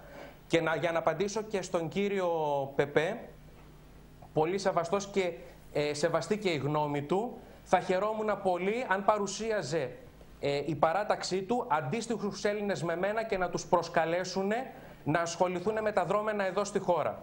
Δεν έχω όφελος. Δέχτηκα πολύ τιμητική πρόταση από τον κύριο Σαμαρά και μαζί με μένα υπάρχουν και άλλοι που θέλουν να έρθουν να προσφέρουν ε, στην Ελλάδα. Κύριε Πεπέ, σε Σας εσάς για να ευχαριστώ. ολοκληρώσουμε, μην υπάρχει καμία παρέμβαση, σας παρακαλώ, κύριε Πεπέ, ολοκληρώστε. Ε, λέω καταρχάς ε, άνθρωποι και ιδιαίτερα ικανοί στα ζητήματα που αφορούν την οικονομία και όχι με ταυτόσιμες απόψεις. Είναι δύο μεγάλοι καθηγητές εδώ στην Ελλάδα με το ψηφοδέλτια του ΣΥΡΙΖΑ και ο κύριος Βαρουφάκης και ο κύριος Λαπαβίτσας αλλά και πάρα πολλοί Έλληνες με αντίστοιχες Μην περγαμηνές. ξεχνάτε, αυτοί δεν δημιουργούν υπεραξία σε πράγματα που φέρνουν ανάπτυξη. Εγώ δεν θα μίλαγα ποτέ έτσι για τον εαυτό μου τόσο πολύ. Εγώ σέβομαι πάρα Σας έχω, πολύ δω- τους σας έχω δώσει Ναι, ναι. αριθμούς. Ε, σας παρακαλώ. Κύριε Νομίζω Πεπέ. ότι ο κόσμος σας σέβεται, σέβεται όσους έχουν κάνει πολύ σημαντικά πράγματα. Τον ενδιαφέρει όμως άμεσα πώς απαντάμε για τη ζωή μας. Χρησιμοποιήσατε. Α, χρησιμοποιήσατε συγγνώμη, κάποιους άμεσα. οργανισμούς. Το μέλλον είναι αυτό που διαφημίζει το επιμελητήριο Φθιώτιδα. Θέλει τα νέα του μυαλά Κύριε να Φωσιά, ασχοληθούν με την κύριε επιχειρηματικότητα και την καινοτομία. Μας ακούει ένας κόσμος. Ναι, αυτό λέω. Αυτή είναι η Λέω, αλήθεια. απαντήσει. Στην ιστοσελίδα Κύριε του Πεπέ, επιμελητηρίου εδώ το βρήκα. Έχει κυβερνήσει, μια, κυβε- έχει κυβερνήσει επί πολλά χρόνια τώρα ε, μία, δύο κυβερνήσεις που σήμερα και οι δύο, δύο κόμματα που και οι δύο σήμερα είναι στην ίδια κυβέρνηση. Το Πασό και η Νέα Δημοκρατία. Το Πασό και η Νέα Δημοκρατία. Δεν θα συγχαίρεται το Πασόκ με τη Νέα Δημοκρατία. Σας παρακαλώ. Σας παρακαλώ. Κύριε Έχουν Γούσια, αν έχει καταντήσει την καλοσύνη, στην μην Ελλάδα διακόπτετε. εκεί που Πρέπει θα να φτάσει. κλείσω σε πολύ Οι λίγο. οργανισμοί που έχετε εσείς αναβρει... Δύο κουβέντες όμως να πω με κόμμα. Ναι, γι' αυτό σας λέω, κύριε Πεπέ, προχωρήστε. Ναι, λέω ότι οι οργανισμοί που είπατε πρέπει να σας ενημερώσω ότι η ΟΒΕ είχε προβλέψει ότι από το 12 και μετά θα έχουμε ανάπτυξη στην Ελλάδα και όλα θα πάνε καλά. Αντιμετωπίζεται η κρίση.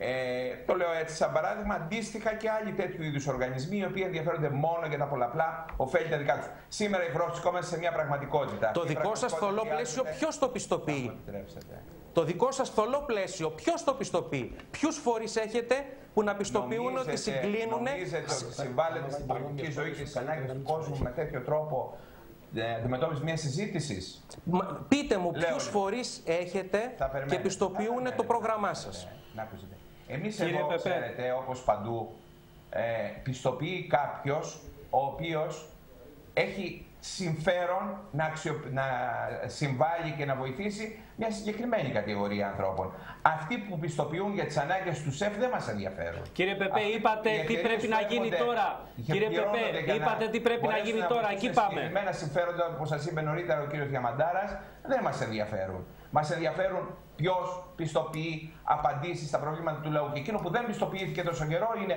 ότι η πολιτική της Νέας Δημοκρατίας, τα αποτελέσματα που είχε, ξέρετε, έχετε είστε επιστήμονας. Το ζήτημα είναι να δοθεί απάντηση στο πρόβλημα του κόσμου. Που το πρόβλημα του, κο- της χώρας, του κόσμου ε, και τις δυνατότητες να αναπτυχθούν παραπέρα. Αυτό απέτυχε. Όλα τα success story τα οποία μας έλεγε ο κύριος Σαμαράς κατάντησαν μια Ελλάδα που σήμερα οι ίδιοι λένε ότι δεν αντέχει ούτε λίγες μέρες. Παρ' όλα αυτά, εγώ κύριο που θέλω να πω και στους ε, επαγγελματίες της περιοχής με την οποία μιλάμε και στον κόσμο όλο είναι ότι το πρόγραμμα του ΣΥΡΙΖΑ προχωράει με, σίγουρ, με, με τη μεγαλύτερη δυνατή σταθερο- σταθερότητα να αντιμετωπίσει τα προβλήματα που λέμε και ως προς το χρέος.